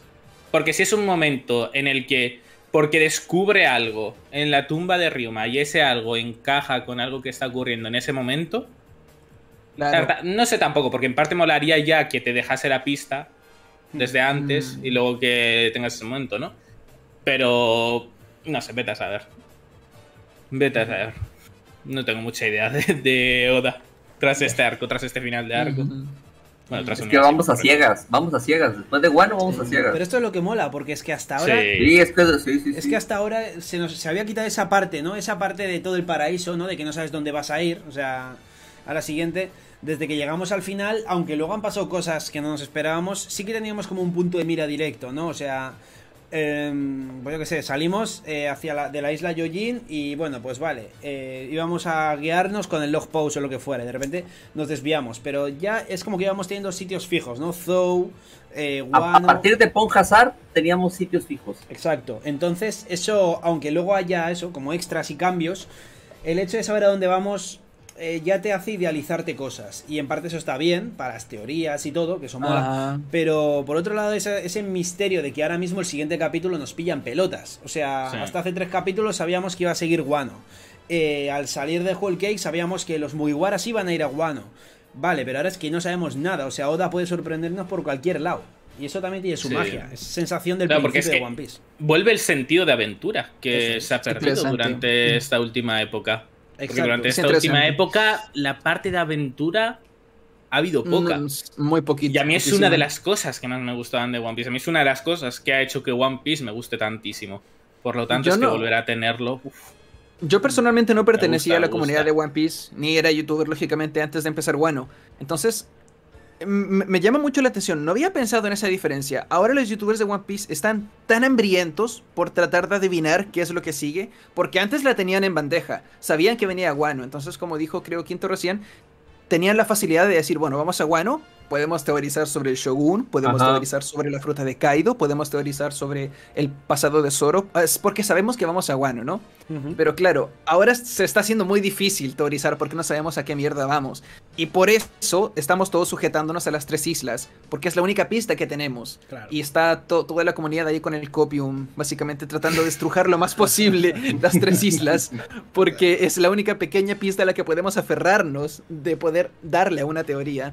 Pero claro, por eso digo que Oda puede darnos eh, una sorpresa en cualquier momento y ponernos una isla en medio. Hay que comer, dicen. Exactamente. Hay que comer. Es que ahora puedes subir mm. cinco videos hablando de, un posible destino en cada video. O sea. Totalmente. claro, básicamente. Y, y, pero a mí eso, yo, yo me agarro a eso, eso es lo que me, da una esperanza, que, que aunque no sepamos dónde vamos, aunque nos digan en el siguiente capítulo a dónde vamos, esa pequeña posibilidad de un gran desvío o un pequeño desvío. A mí eso es lo que más me emociona. O sea, esa sensación que llevamos, pues es que realmente 10 años, ¿no? Sin tener. O sea, Punjazar fue hace 10 años, si no recuerdo mal. Hmm. Que es cuando surgió la alianza con Lowe y demás. Es que son 10 años. O sea, bueno, yo, no llevo 10 años al día, pero bueno, o sea, yo de hecho desde que me puse al día, y creo que vosotros más o menos también será, eh, no hay esa sensación de aventura de a dónde vamos a ir. Entonces, pues, va a ser bonito. Va a ser, va a ser bonito lo que viene ahora en One Piece.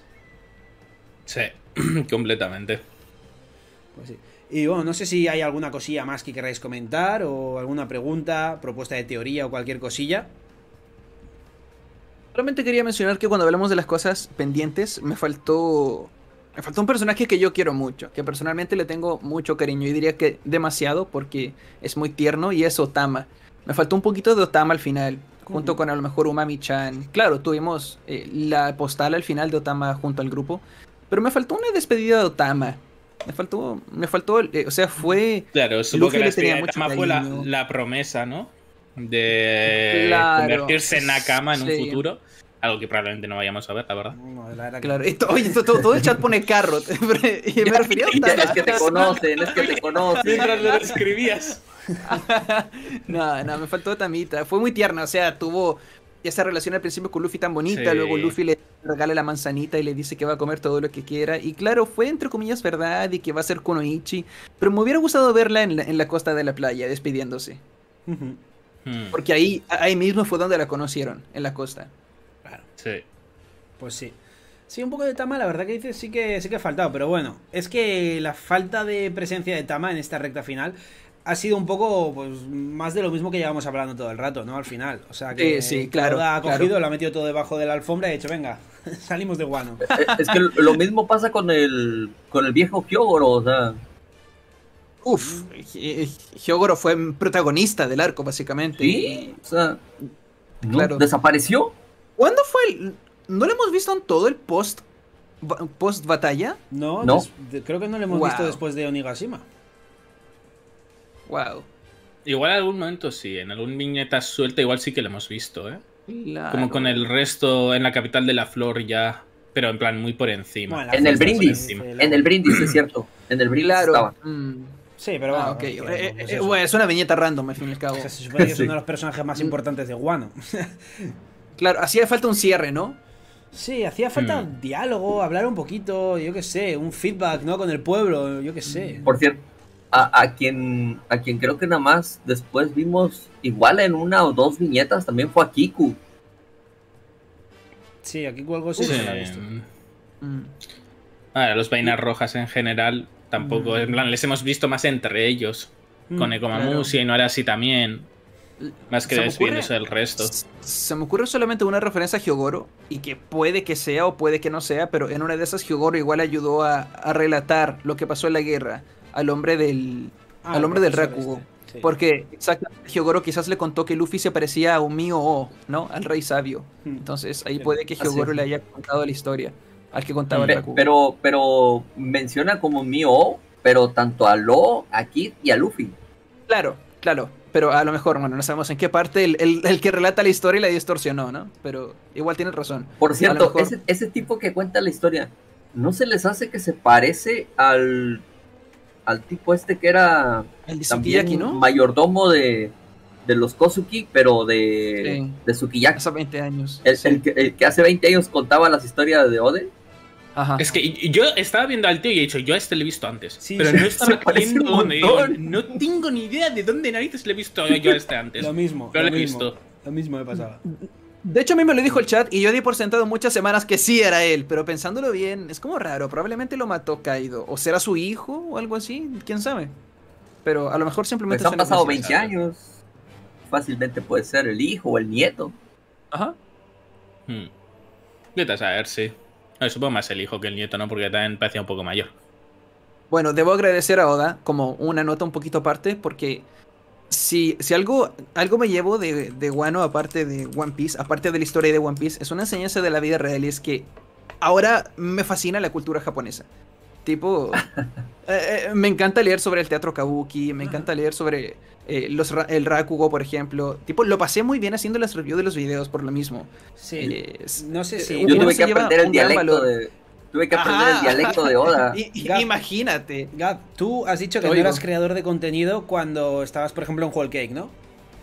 Eh, o sea, claro, estaba recién comenzando, pero no hablaba del manga. Vale. Es que entonces esto solamente se lo puedo preguntar a Gold, entonces, que ya se dedicaba a hacer reviews también en, en Whole Cake. Eso que, que, ha mencionado Gab, ¿no crees que es bastante cierto lo de disfrutar haciendo las reviews? O sea, ¿no crees? O sea, yo me acuerdo que llegó un punto en el que me estaba siendo insufrible hacer reviews de Whole Cake con el Wedding Cake, Wedding Cake, que pasaba un capítulo de persecución de, Wedding Cake, Wedding Cake, y es que me acuerdo que no aportaba nada en la review, no se podía aportar nada. O sea, era eh, Big Mom gritando Wedding Cake, algún día se callará y ya está. Y sin embargo, ahora en Guano es verdad que cada review había alguna cosilla que comentar por muy pequeña que fuera, pero siempre había cosas que comentar, teorías, plot twist. No sé, creo que creo que Guano, eh, aunque mucha gente se queje, títulos, los títulos de los capítulos traían jugo. Traía, sí, todo, todo. Traía todo. Es que había cosas que, sentías que de verdad que estaban pasando cosas en One Piece. Y entonces yo en ese sentido, pues creo que, es algo muy a valorar a la hora de valorar Wano. Sinceramente. No sé qué piensas tú y eso. No sé si tienes recuerdos de Whole Cake. Mm, no, yo la verdad es que no sentí tanto rechazo hacia Whole Cake. Incluso hacia esa parte de la tarta y todo eso. Yo también es que, joder, llevo haciendo reviews bastante tiempo. Desde el capítulo 795, desde el final de Tres Rosas, cuando apareció Kaido por primera vez. Buen capítulo, para empezar. por lo menos se aprendieron nombres de comida. Eh, claro, y es, es, es, que me lo paso muy bien también con las reviews. El volver a leer el capítulo, todo, es algo de lo que disfruto mucho, mucho, pero, mucho. A ver, debo admitir que hay reviews que se hacen más difíciles. Por ejemplo, la del 1047, que 10 de 15 páginas fueron el flashback de nuevo de las vainas escapando de la olla de aceite. Ese, ese video me costó mucho hacerlo porque yo estaba, ¿cómo hago interesante el narrar lo que ya se nos ha contado muchas veces? Y aparte que el hmm. capítulo comienza con Luffy dando el golpe y termina con Luffy dando el golpe, el mismo. Entonces, claro, hay capítulos... Desde el 46 al 48 fue esa, esa temática. Ajá. Sí, y el 1047 fue, yo creo, el peor como de, de los del final de la guerra. Porque estábamos en pleno choque de Luffy con Kaido y Oda te mete, creo que fueron como 7 u 8 páginas del mismo flashback de nuevo, ¿no? Y ese es el tipo de cosas que me hace pensar. Sí, es- ese tipo de cosas me hizo pensar, mmm, Film Red, por acá parece que había que atrasar un poco el asunto, ¿no? Sí, sí, sí. Hombre, la aparición de Shanks en el manga, aunque ha estado muy Ya guapa, que- ha sido una promoción de Film Red, vamos. O sea. He venido para la promocionar. casualidad. Fue la Film Red. misma, fue la misma semana, o sea, fue con calzador. Sí, sí, sí. Pero bueno, por lo menos, mira, hemos visto un poquito Claro, de Shanks. más que ser con calzador. Yo más que ser con calzador, el hecho de que Shanks apareciese, yo creo que es más bien con calzador otros capítulos que se estiren tanto o que vayan tan rápido. Mm. Porque yo creo que Oda sí que tiene en mente eso, que en este momento tiene que salir este personaje. Me las tengo que apañar para que este capítulo pase esto. Sí, eso sí que lo hace. Así Sí, que un poco por aquí o recorto un poco por aquí. De acuerdo. Bueno, Eso es cierto, ¿eh? Sí. Por ejemplo, este último Incluso capítulo- pueden meter hasta flashback para poder hacer que cuadre y, Sí, que, sí. y que De hecho, mira este último capítulo, que la despedida, no sé qué tal, pero la mitad del capítulo han sido flashbacks, o sea, viñetas recicladas de otros Sí, sí. capítulos. Y Yamato Mm. trotando por el bosque. Sí, sí, sí, o sea, es, es como eso, o sea, como un cierre de guano, pero con mitad relleno, ¿no? Entonces, eso a mí me hace Sí. pensar, ¿será que Oda no ha querido extenderse mucho con la despedida? ¿Será porque quiere calcular los timings para lo que venga ahora? O ya quería irse de guano él, o sea. Sí, no sé, no sé, sí, es como, ya te digo, a mí me dejó muy mosca eso de, eh, de cerrar algo tan raro, ¿no? Además, Oda que suele, por un lado, dar introducciones muy amplias y muy buenas a las islas, y por otro lado, cierres bastante también potentes. O sea, con, eh, yo qué sé, la- los banquetes suelen ser banquetes eh, pues, alargados, eh, que se hablan de cosas y todo. Y en este no ha habido. A ver, se ha hecho lo de Plutón, el Marineford original, o sea, el guano original y demás. Pero no sé, me han faltado, me han faltado cositas, sí, sí. Mira, al- a mí hay un algo, pequeño al- detalle. algo. Dale, dale. Hay un pequeño detalle que no me ha gustado mucho de este último capítulo y es que cuando las tres tripulaciones se lanzan por la cascada, que Oda, un poco para hacer la gracia, muestra la cara de cagados de los tres, ¿no? De Luffy, Lo y Kid. Pero es Ah, que yo pienso ese momento y ese es el típico momento en el que Luffy se tendría que estar descojonando. sí. Pues en Zou, por ejemplo, cuando se tira desde lo alto de Zunesha con todos No. hasta el barco, se está descojonando mientras el resto están cagados. Ya. Digo, y, Mm. y aquí, aquí, ¿por qué está cagado Luffy? ¿Por qué narices está cagado Luffy? Hmm. Y es eso, es, es un pequeño detalle, pero es algo que me dejó como un poco mosca. Igual porque Sí, es igual algo que Luffy no ha decidido hacer como tal, sino que se ha visto obligado. En los otros casos lo ha querido hacer. No sé. Claro, a lo mejor fue muy improvisado, pero igual es un poquito de ruido, eh, como dije en mi video, considerando que el Sunny ya está acostumbrado a salir volando con el Cup de Mm. Bears. Y que, joder, terminar de ver a Luffy, y Lo sonriendo, a mí me hubiese gustado. Mm. En plan, tras todo lo que han pasado ahí en la guerra, que Sí, se ¿no? hasta que- en cada uno como sonriendo. Como que van de orgullosos, Más que nada, Kid. pero en realidad... Sí. Hmm. Kid estuvo en la mierda. Kid es el más. mm, el que más mala suerte ha tenido, yo diría, en todo One Piece. Es Luffy sin el plot armor. O sea, Sí, ah, yo, yo le llamo un así Luffy sin suerte. Ajá, sí. Sí, básicamente es eso. Sí. Por, por lo menos venció un Yonko. Pero es lo que decíamos antes de, antes de empezar el directo, que lo dijimos tras cámaras. Para mí, Wano tuvo los altos más altos y de los bajos más bajos. Y, es irónico porque no me gustó la despedida tanto como pensé que me iba a gustar. Pero por ejemplo, Wano para mí tiene el mejor primer capítulo de cualquier arco de One Piece. Ningún, ningún primer capítulo de arco me emocionó tanto como ver a Zoro cortando al magistrado Oh, o ver a Usopp vendiendo la... Es una presentación La- de arco admirable, Sí. la verdad. Además que Pues te sí. meten también lo de Marco ahí, en la primera parte del capítulo de Marco. Ajá, y en la segunda eso. Se abre el telón, ¿no? Gigantes. Sí. Luffy con Komachi y el mono en el bosque, todo eso. Es un muy, buen hecho, primer capítulo. cierto, muy bien hecho en el anime también, ¿eh? Por cierto. También, joder, lo hicieron muy, muy bien, sí. Fue un Pero capitulazo es que, en el ¿Cómo anime. cambia la animación de, un, de una escena a otra? Donde están Sí. como músico con Marco y, y cómo cae la, el. en- enseguida así a abrir el telón. Sí, Que Los pasa que Toei tambores, el shamisen. Preparó ese capítulo con mucha antelación. Sí. Era- Lo, lo prepararon con pinzas. Tenía que ser la gran presentación de Wano. Y lo Y hicieron así muy fue. bien. Que por cierto, con respecto a lo que ha dicho Gaz de que el arco de Wano tiene los altos más altos y los bajos más bajos, también se lo he dicho fuera de cámara, porque ha dicho lo mismo y yo le voy a responder lo mismo. Y es que para mí, más bien lo que tiene Wano es. eh, sé que tiene los altos más altos, pero yo diría que es el que más altos tiene.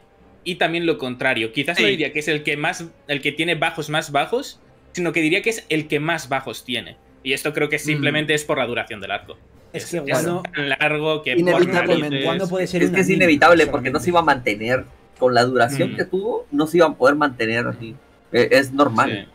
Es que dime lo que quieras de Guano, pero Luffy haciendo temblar una isla en base a los latidos de su corazón mientras expulsa truenos y Kaido se caga de miedo es una experiencia que no voy a olvidar en mi vida. Mira, la, la que se me ocurre ahorita el ejemplo, el 1030 que es el capítulo donde revive, bueno, revive entre comillas, Kinemon, Kiku y Kanjuro. Y luego el 1031, el capitulazo ese de, de la decisión de Sanji de deshacerse del Raid Suite. Sí. Uf. O sea, en una semana, en menos de dos semanas. Pico, pico, sí. Te, muestra eh, la luz y la ¿Qué versión quieres de mí, Luffy? ¿Qué versión de mí te gusta más, Luffy? Uf. Sí, sí, sí. Hmm. Es una locura. Por curiosidad, ¿cuál ha sido vuestro alto más alto de Wano? Uf, a ver. Yo lo tengo bastante claro. Para mí nada se compara al Gear 5. Yo estoy un poco con Gaz, creo. Estaba entre el Year 5 mm. o cuando consigue despertar el haki avanzado, que en ese mismo cap el 1010. Sí. el haki avanzado, Zoro hace la Shura. Ah, también. Sí, sí, sí. Eh, es, que, es que ese capítulo, el, el 1010, fue. Y cuidado con lo que dice Hugo, ¿eh? y Nico, es muy el, se, el se rió de Roger, ¿eh? El Serrio también es, es que, es que ese, es el que ese es el que yo iba a decir, el, de, el del flashback de Oden cuando Roger encuentra el One Piece. Para mí ese es el mejor de todo el. Es que igual ese es el mejor. El arco. Es que cuidado con que ese igual sea el mejor capítulo de la historia de One Piece hasta la fecha.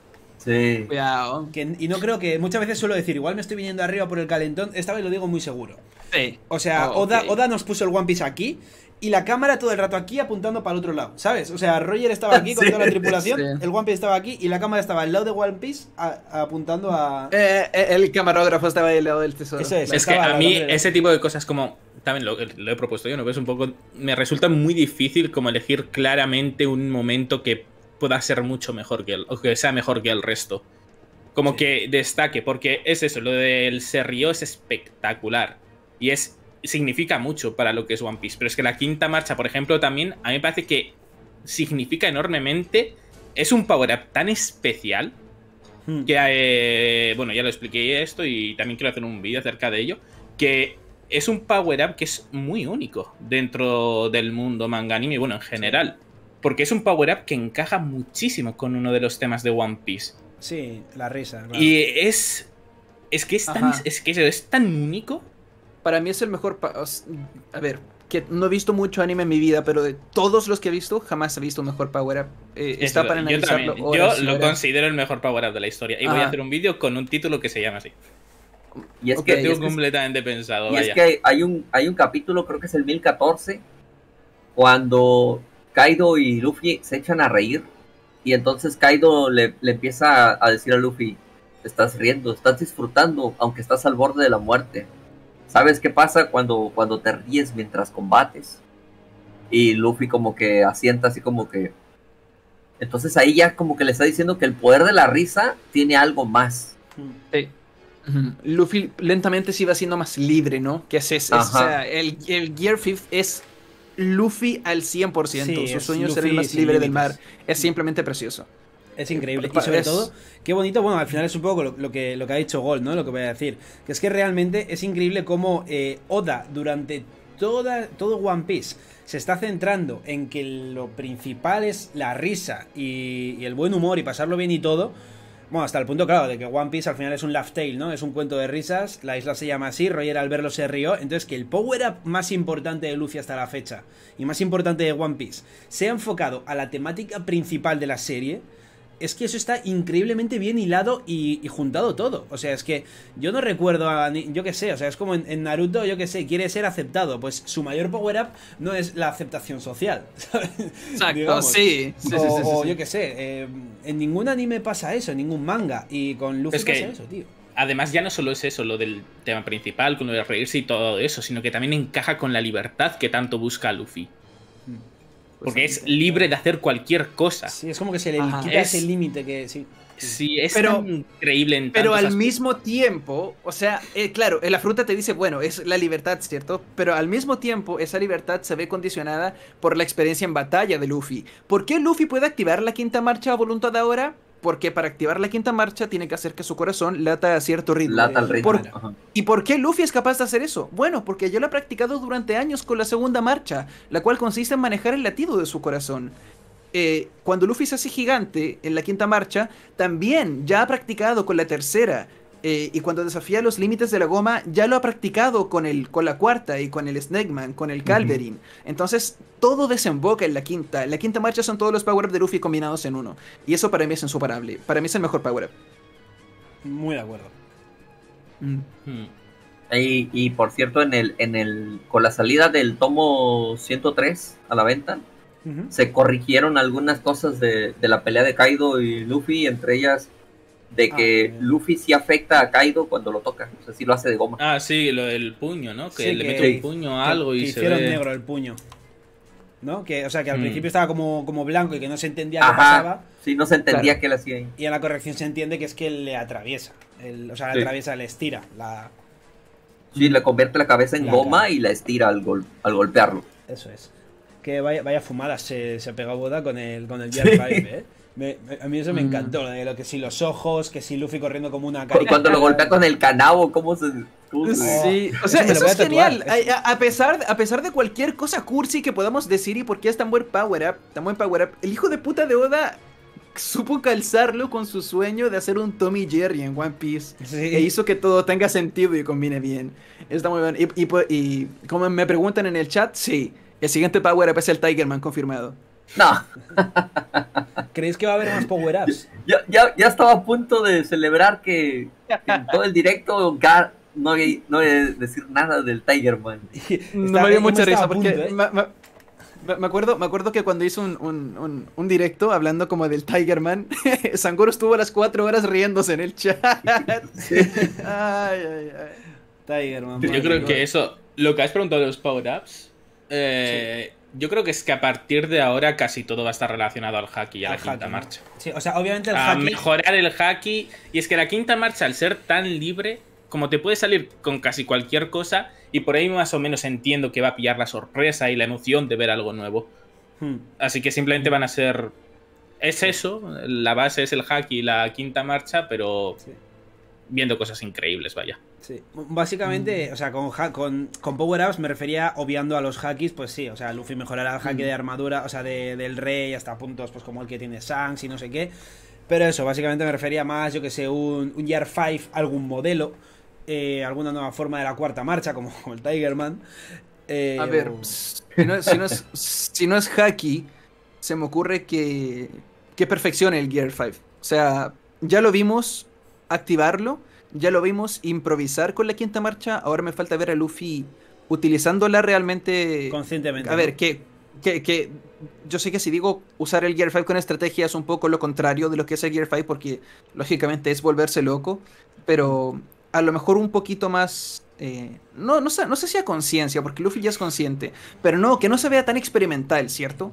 Sí, o sea, No que, claro. Pero Sí, ojo ¿no? que Teach puede desactivar eh, fruta. Interesantísimo eso. O sea, imagínate Luffy todo blanco, toca a Teach y se vuelve N, o sea, no N, pero forma Por base. eso tiene que mejorar sus hacks. Hombre, ahí vuelven, Mm. eso es, ahí, ahí la clave está en los hakis, totalmente. Que por cierto, Kurohige a día de hoy, eh, a ver, se entiende que tendrá hakis, pero cuidado con, con la opción de que Kurohige no se especialice mucho en hakis y, de- y claro, y sea totalmente dependiente de su fruta, ¿no? Y eso sea lo que donde esté la clave de la victoria. Sí, el de punto hecho, débil suyo. de, de hecho, Kaido lo dice, ¿no? Que en este mundo quien, conquista y quien puede cambiar el mundo son los que mejor haki tienen.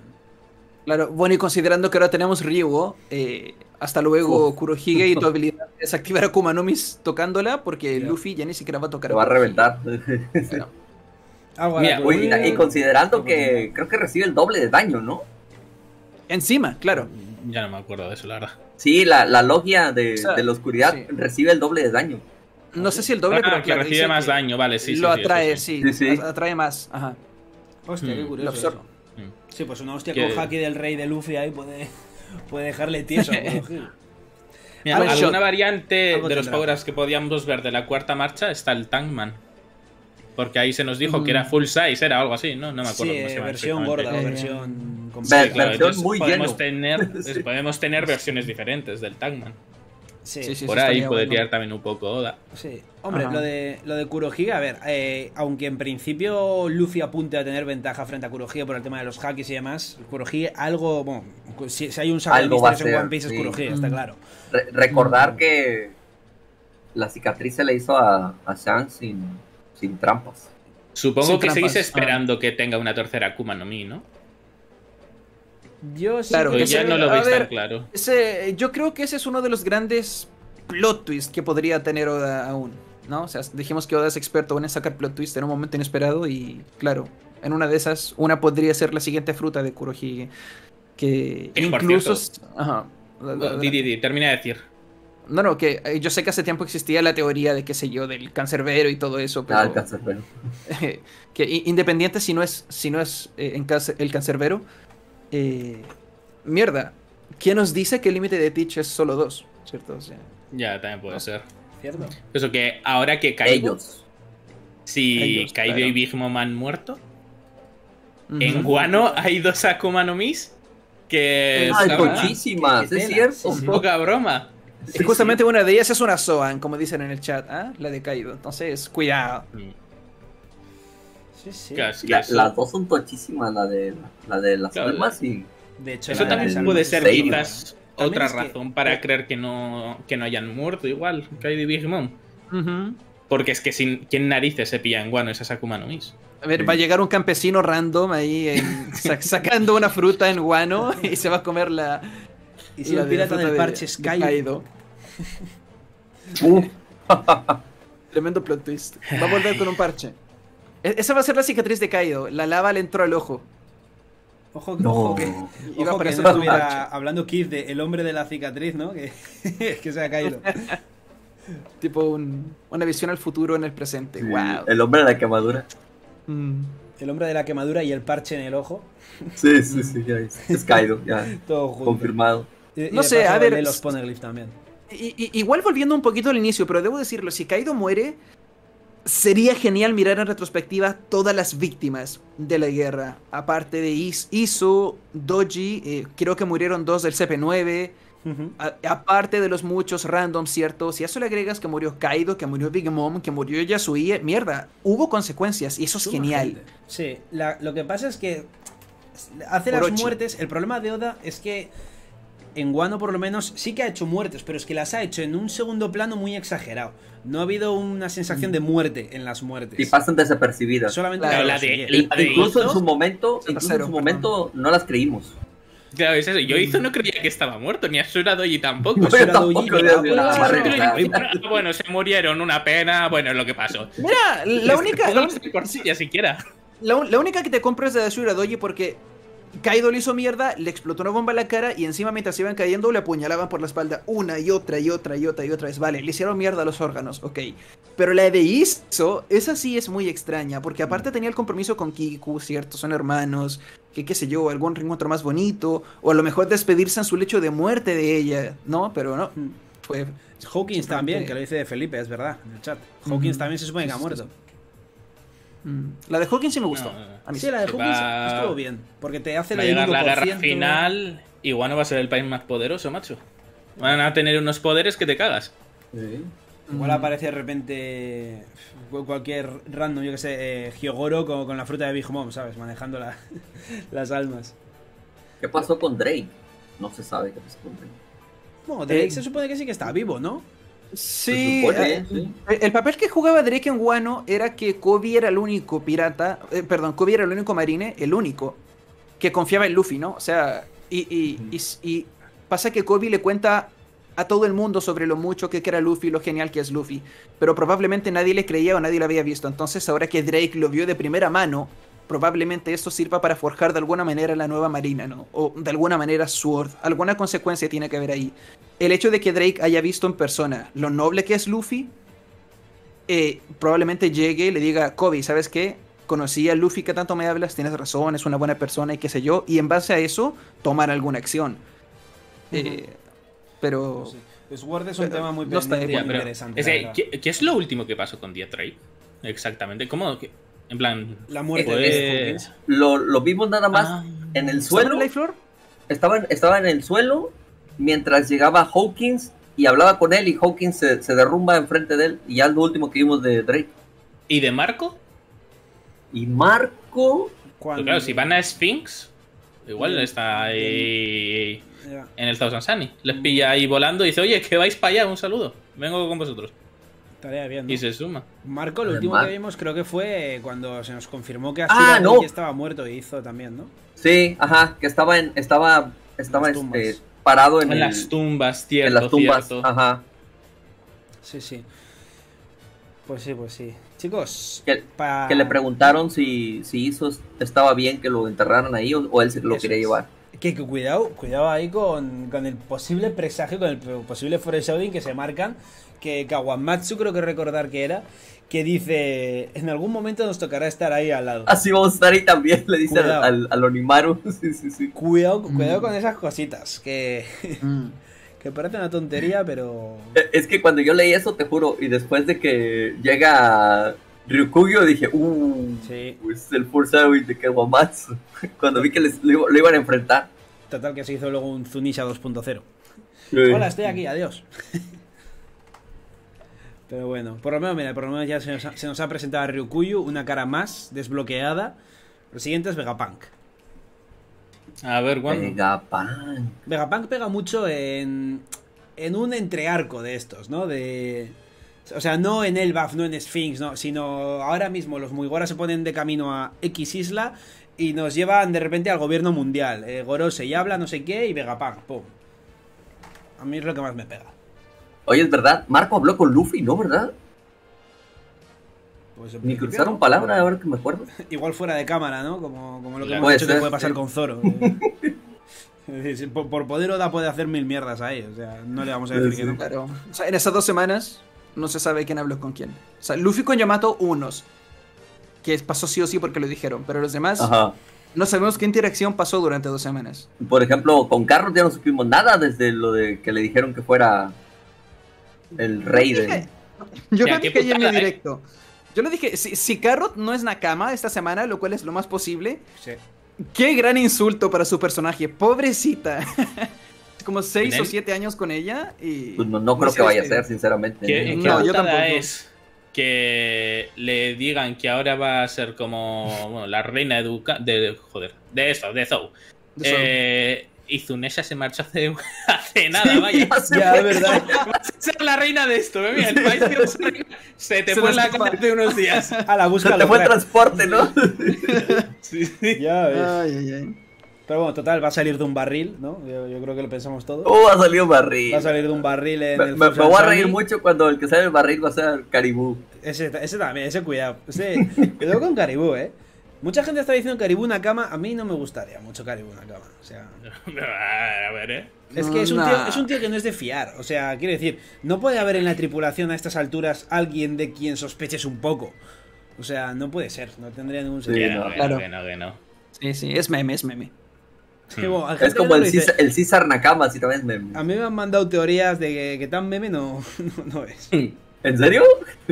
Joder, claro, teorías hay de todo, ¿eh? No, no, la gente toma muy en serio las teorías. sí, sí. Pero bueno. Chicos, quiero, antes de cerrar el directo. Dale. Esto yo creo que va a ser difícil de hacerlo, pero una nota para Guano. Una nota final de Guano. Cada uno que valore lo que sienta, que es lo que, lo que más valora de, un, de, de, One Piece, de un manga, que, que, es lo que hace tener unos parámetros para poner unas notas. Cada uno quiero que ponga nota. El chat también, quiero que, pongáis notas, que ya veo que estáis haciéndolo. Eh, que empiece Gol mismamente. Una nota. Yo a mí me gustaría releerme todo, todo Guano, la verdad. Para tener una idea más clara, porque sí que con la tontería son cuatro años, ¿eh? No, no, claro. hay cosas de las que no me acuerdo de Guano. mucha cosa que no esto. Pero un poco así, intentando recapitular un poco, aunque no sea una nota realmente total y que igual planteándotelo la cambias. Como me da un poco de miedo dar una nota a un arco de 140 capítulos, tratemos, yo creo que una forma fácil de, ayudar acá es que lo separemos por actos. Tipo, que no te le das el acto 1, que no te le das el acto 2 y que no te le das el acto 3. Ah, de, eso, igual me acuerdo menos. Dice, por eso quería englobarlo todo. uh, No, por ejemplo, el arco 1 termina con Kaido eh, partiéndole el hocico a Luffy y para mí eso es maravilloso. O sea, en 15 capítulos Luffy ya peleó con el jefe final. Ajá. Mm. En 15 capítulos Luffy ya peleó con el jefe final y encima lo hacen pedazos. O sea, y tú. Es que yo de esa parte tengo unos capítulos del inicio. El tema del sumo con el mm. tipo este me parecieron más malos. Eso fue lento. Hubo el 915 en concreto me pareció más malo ese capítulo que lo recordaré siempre. Y, bueno, mi cumpleaños, creo, justo. Ahí, ahí, están los picos que decíais, ¿no? no, solamente te pone, no solamente te pone Urashima el sumo, sino que te pone a Urashima y luego a Holden. a Holden, sí. ¿Y os acordáis? Holden, cuidado con Holden, que claro, ahora nos descojonamos de Holden, pero cuando se presentó Holden nos lo tomábamos en serio. claro, no sabíamos lo que había por delante todavía. Entonces nosotros veíamos a Holden y decíamos, hostia, una, ¿cómo se, cómo se llama? Una estrella. ¿O cómo se llamaba? Sí, estrella, un All Star. Sí, estrella le llamaba. No, una estrella. Sí, oh, una estrella, no sé qué. Cuidado con Holden, tal. A la Red Hook a tu casa. Mm. claro, Yo. Yo lo de hacerlo por actos lo veo difícil, ¿eh? Porque básicamente porque es que no ubico cada, cada cosa de los actos. Es que imagina, el primer acto duró 15 capítulos, el segundo 30 y el tercero 99. ¿99? Joder, tío, qué mala hostia. Oda, qué. Oh, Dios. La madre que le parió. Oda, qué mierda. 90, ¿Qué toca? 99, me cago en todo. Estoy a todo el arco. No sé si le llegaría al 9. Estoy entre el 8 y el 9. Igual me quedo con un 8,5 y a tomar por saco de primeras. Perfecto. ¿Sangoro? Sí. A ver, al primero le doy 7. Al, al segundo 8, 8, 5. Y al tercero 7 también. ¿Y una media general? Una media general sería 7. 7 sobre 10. Sí, yo muy, yo muy parecido a Sangoro, ¿eh? pero eh, me quedo con una media de 8. Me quedo con una media de 8 porque estoy seguro de que si me lo releo voy a darme cuenta de que semana a semana la experiencia es muy diferente. Totalmente eh, seguro. O sea, leerlo de golpe y mm. fluido, vamos, tiene que influir un montón. O sea, exacto. Segurísimo. Y sin pausas y sin. Yo, yo creo que andaría también. Yo creo.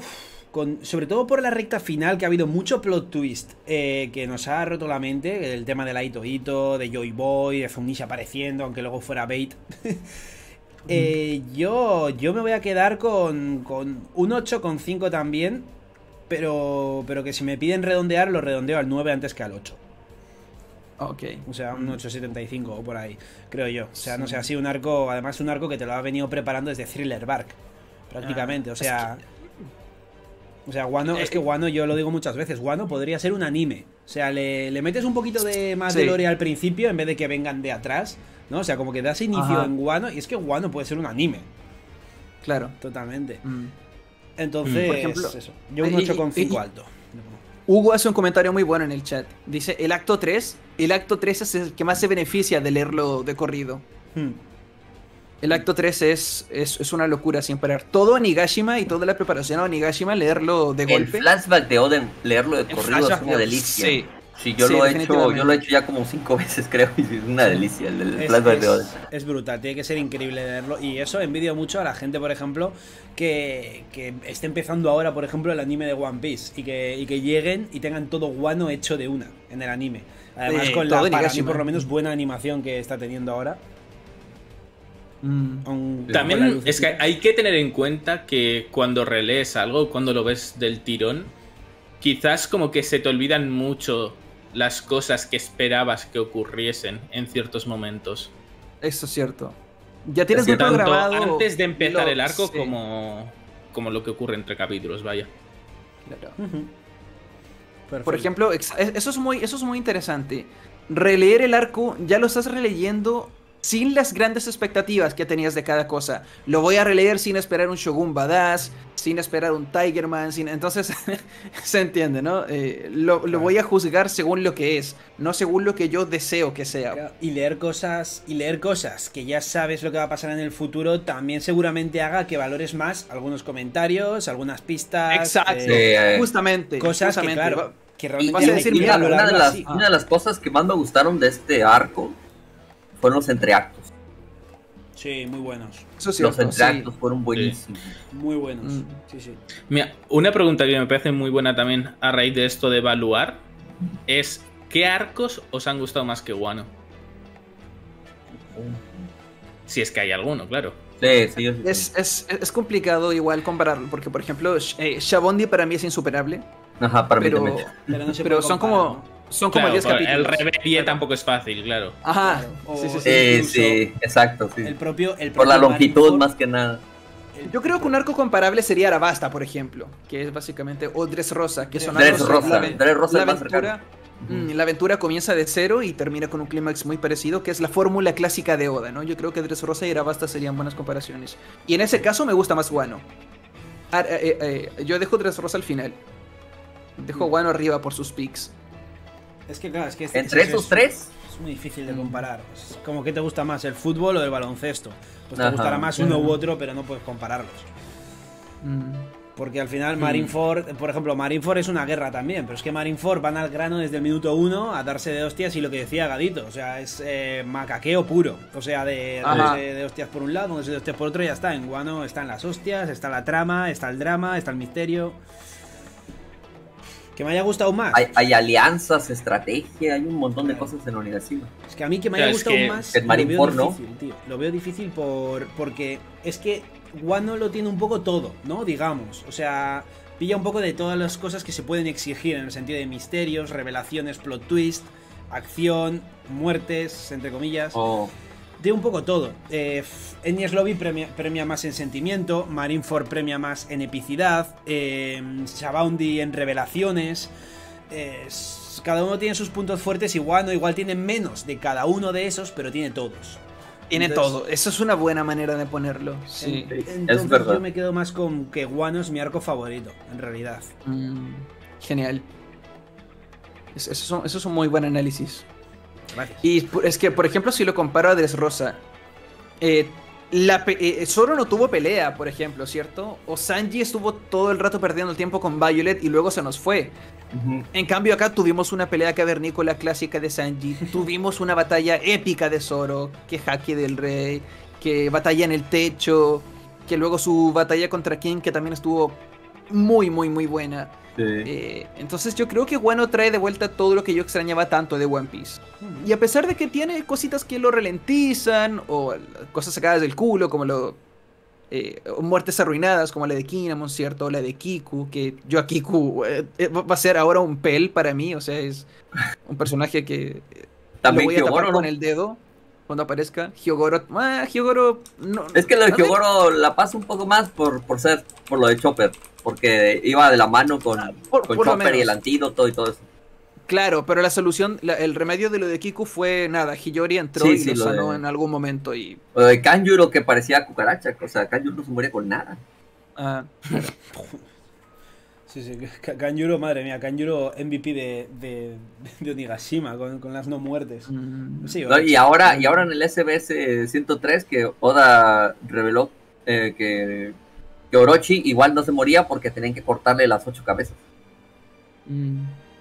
Es que es ese tipo de caprichos de Oda el que al final arruina algunos pequeños aspectos de la, de la obra. Mm. Solo porque Oda tenía ganas de hacer que le corten todas las cabezas hizo que Orochi reviva cuatro veces.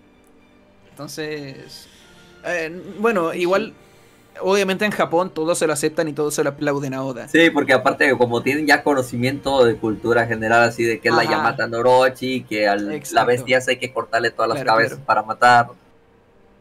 Mm. Pues sí, pues sí. Pues bueno, chicos, ¿hay alguna cosilla más que queráis comentar? Yo diría que Dre Rosa me gustó más que bueno. ¿Dre Rosa más que Guano? Sí, yo también, a mí también me gusta más Dre Rosa. ¿Sí? Hostia. Sí. yo me quedo con Guano. Gracias, Baz. Hostia, Guano es que Guano, la parte buena que tiene, con la que creo que supera a Rosa, es el pasado de Oden y la quinta. Sí, es, que ese flashback, ese flashback, los power ups es donde Dre Rosa. Pero si hablamos del resto, me parece que Dre Rosa. No, me gusta bastante más. Dre Rosa. Yo cuando los pongo lado a lado no puedo evitar quedarme con Guano, y en especial en las batallas. O sea, la batalla de Zoro Andrés Rosa fue cortar a pica una vez. eh, bueno, unas cuantas veces, pero Mm. no, hubo, no hubo batalla prácticamente. Con King sí hubo una buena batalla. Y bueno, eh, cada uno tiene diferentes parámetros. Totalmente. O sea, tampoco Sí, el sí, chat... claro. Sí, por eso estoy no- diciendo que no Augusta pongan- Alice, exacto. no estoy metiendo de por medio palabras de mejores Sí. o cosas de ese estilo. Por supuesto. Sí, no, es- eh, chat es sea gusto personal. más activo posible. Sí, sí, Sí, sí, sí. sí, gusto personal, Sí, igual a mí también me gusta más. Andrés Rosa. Ajá. Claro, es que a ver, Sí. que Andrés Rosa tenía a Doffy, que es una gran, gran ventaja. Y que yo hay un momento muy olvidado, que a mí me parece de los momentos más bonitos de One Piece y con los que más he llorado, que es el regreso de Sabo. Por mucho que se teorizase que estaba vivo, Uh, lo que yo Sí, lloré cuando Sabo. Sabo apareció, y además en el anime también, Mm, Sábado ese momento... escena. Uf. Lo Ese que es que en me el parece anime hasta hicieron un especial, ¿no? De televisión. Sí. Sí, también, después, más tarde. Sí, del propio- Mm. Sí, sí. A mí lo que creo que me hace tirar más a, a Wano es, por un lado, eh, la ambientación japonesa que tiene, que la verdad que está muy guapa. Ese rollo samurai y todo esto. Luego Kaido, que es un personaje, es un villano tan hypeado que, que era tan... ¿Cómo se las va a apañar Oda para hacer que Luffy le gane? Eh, por fin el primer gran arco final, digamos, como es Wano. Y sobre todo que es un arco que, bueno, Dressrosa se lleva preparando desde Punjazar. Wano se lleva preparando desde Thriller Bark con sutiles menciones como Ryuma, eh, Mm. Oars y demás. Pero que luego ya empezó a ir cobrando sentido y que Oda a la mitad de One Piece se ha dedicado a crear Wano. De una manera u Pero otra. ¿no creen que eso de cierta manera sepultó también el Sí, hype de eso iba a decir El yo. hype. Ajá. ¿Sepultó el qué? Que yo creo que también esas promesas también se han cargado un poco la experiencia de Wano. Sí. Por ejemplo, lo de Ryuma, lo de la tumba de Ryuma Ese que hemos hablado antes. Es lo malo de crearte expectativas al final. Que. No, Y- o sea, hay una, hay un, hay un diálogo que me acuerdo muy bien, de, pero fue en el Levely cuando, cuando capturan el, la conversación entre Big Mom y, y Kaido, que le dice Kizaru a, a Kainu, ¿quieres que vaya a arreglar eso? Y a Kainu le dice, no, no, porque está fuera de jurisdicción y además tienen unos guerreros impresionantes, son los samurai. Claro, Y te sí. quedas tú, ¡fuah! Le Como está calma, diciendo calma. a Kizaru que no vaya. No, no, y deja tú eso. Akainu está diciendo a Sí, Kizaru. sí, sí, a Kainu sí, no vayas, no vayas. O sea, O sea, Pero el que se es enfrentaba eso. uno a uno con Shirohige. Es que Sí, qué sí. guerreros ha tenido Wano. Pues la mayoría de los samuráis estaban peleando contra los mierdas de los piratas bestias. Claro, Yo creo que Oda fue muy inconsistente. Yo creo que Oda fue muy inconsistente. Fíjate tú que en el acto 1, Ashura Doji estaba ganándole a un comandante de Yonko. Ajá, sí, Ashura hizo ver mal a estaba Jack, ganando- cierto. Estaba ganándole a Jack. Entonces yo dije, mierda, cada vaina roja es del. eh, tiene el poder de comandante de Yonko. Mierda, se viene. Sí. Pero luego ahí está Kagomatsu y Kiku y los demás y de repente no hicieron nada. Y Doji es un buen ejemplo. O sea, se- estaba ganándole a Jack y se nos fue en una explosión. Entonces es como... eh, Toda la expectativa creada se Mm. derrumbó en un segundo. Y más que nada con los samuráis. O sea, Oda infló demasiado al samurái. Ken Wano, que lo que dijo Kizaru. Es Pero que igual ¿cómo a lo está mejor- llevando. eh, ¿Cómo está llevado el conflicto de los civiles entre Rosa y en Wano? Pese a que sea, parece más importante en Wano por tener a los vainas rojas, me gusta mucho más cómo se llevó en Rosa. A los civiles sí los dejó mejor. Sí. El tema de los juguetes y todo eso, lo que ni siquiera podían juguetes. expresar cómo se sentían. Luego también, si comparamos, por ejemplo, Fujitora con Ryokugyu, también es cierto que Ryokugyu aparece al final, Fujitora al principio, pero me parece que le da 25.000 vueltas lo que hace Fujitora en Rosa a lo que hace Ryokugyu Hombre, sí, en eso sin Wano. duda. O sea, vamos. Eh, Oda, a ver, Oda siempre. los arcos de One Piece tienen todos el mismo formato, ¿cierto? Eh, la bomba de tiempo, que sería la jaula de pájaro contra Wano estallándose contra la capital, o sea, Onigashima contra la capital. Eh, o como lo dices tú, ¿cierto? ¿Qué, ¿Qué tipo de sufrimiento te gusta más? Por morboso que suene. Los juguetes. Los juguetes. Que no recordaban su vida, claro, o la gente en el Festival de Fuego diciendo, oh, qué divertido, qué, qué bien lo estamos pasando hoy, pero qué lástima que mañana tengamos que volver al infierno y A- no comer durante amaneciendo un año. regresamos al infierno. sí, sí. Exacto, Ya, ¿cierto? ya Entonces, ves. Sí, sí, sí, sí. eh, claro, ahí es cosa de gustos completamente. Qué curioso cómo, cómo planta Oda situaciones tan adultas y tan oscuras, ¿no? Que, que a veces no, no nos damos cuenta, pero lo turbio que tiene todo, o sea, ya no solo Wano, ¿eh? O sea, yo qué sé, Big Mom, que para que todos los... Para que toda la gente pueda vivir tranquilamente en Totland, tiene que dar alma. Tiene que dar parte de su vida. O sea, o yo qué sé, lo de los juguetes. O sea, cosa más brusca que, que, que, se olviden de ti y que todo, no sé, no sé, o, sea, o la explotación que tienen los tontata, o yo qué sé, o sea, que son un millón de cosas que, que Oda te lo pinta así como todo muy colorido y entonces hace gracia, pero pero en One Piece hay esclavos, muerte, trata de blancas, narcotráfico. O sea, es que parece ahí, yo qué sé, narcos. En Guano, hay de, en hay de todo. Y en, en Rosa, en Rosa también hay tráfico de armas, porque me acuerdo que los revolucionarios llegan ahí buscando las armas estas del Metallic War. Sí, sí. que tampoco se ha dicho qué es eso, ¿eh? Ya, es verdad. Desde Dre Rosa. Desde Dre Rosa. Sí, sí, sí. Sí, sí, o yo qué sé, en Shabaudi mismamente están tratando con humanos, están vendiendo humanos para lo que te salga de la mm. poronga, o sea... Claro. Que sí, que sí, Literalmente, sí. Y bueno, o sea, muchas cosas más se aparecen. Por ejemplo, Sisifo dice en el chat que también ambos tienen un personaje insoportable. Eh, Orochi y Trébol. Nene. Nene, Uf. Entonces, sí. A mí Orochi peor, ¿eh? Yo mucho más asco Orochi a Trébol. Yo Orochi, Orochi sin que Trébol a mí me cae mal. Me cae Además, es que Trébol a mí me pasa que, claro, como lo leía en el manga, tampoco tenía tan metido la voz de Trébol. En, en, el anime, en el anime Trébol juega mucho más, sí, eso es cierto, eso es cierto.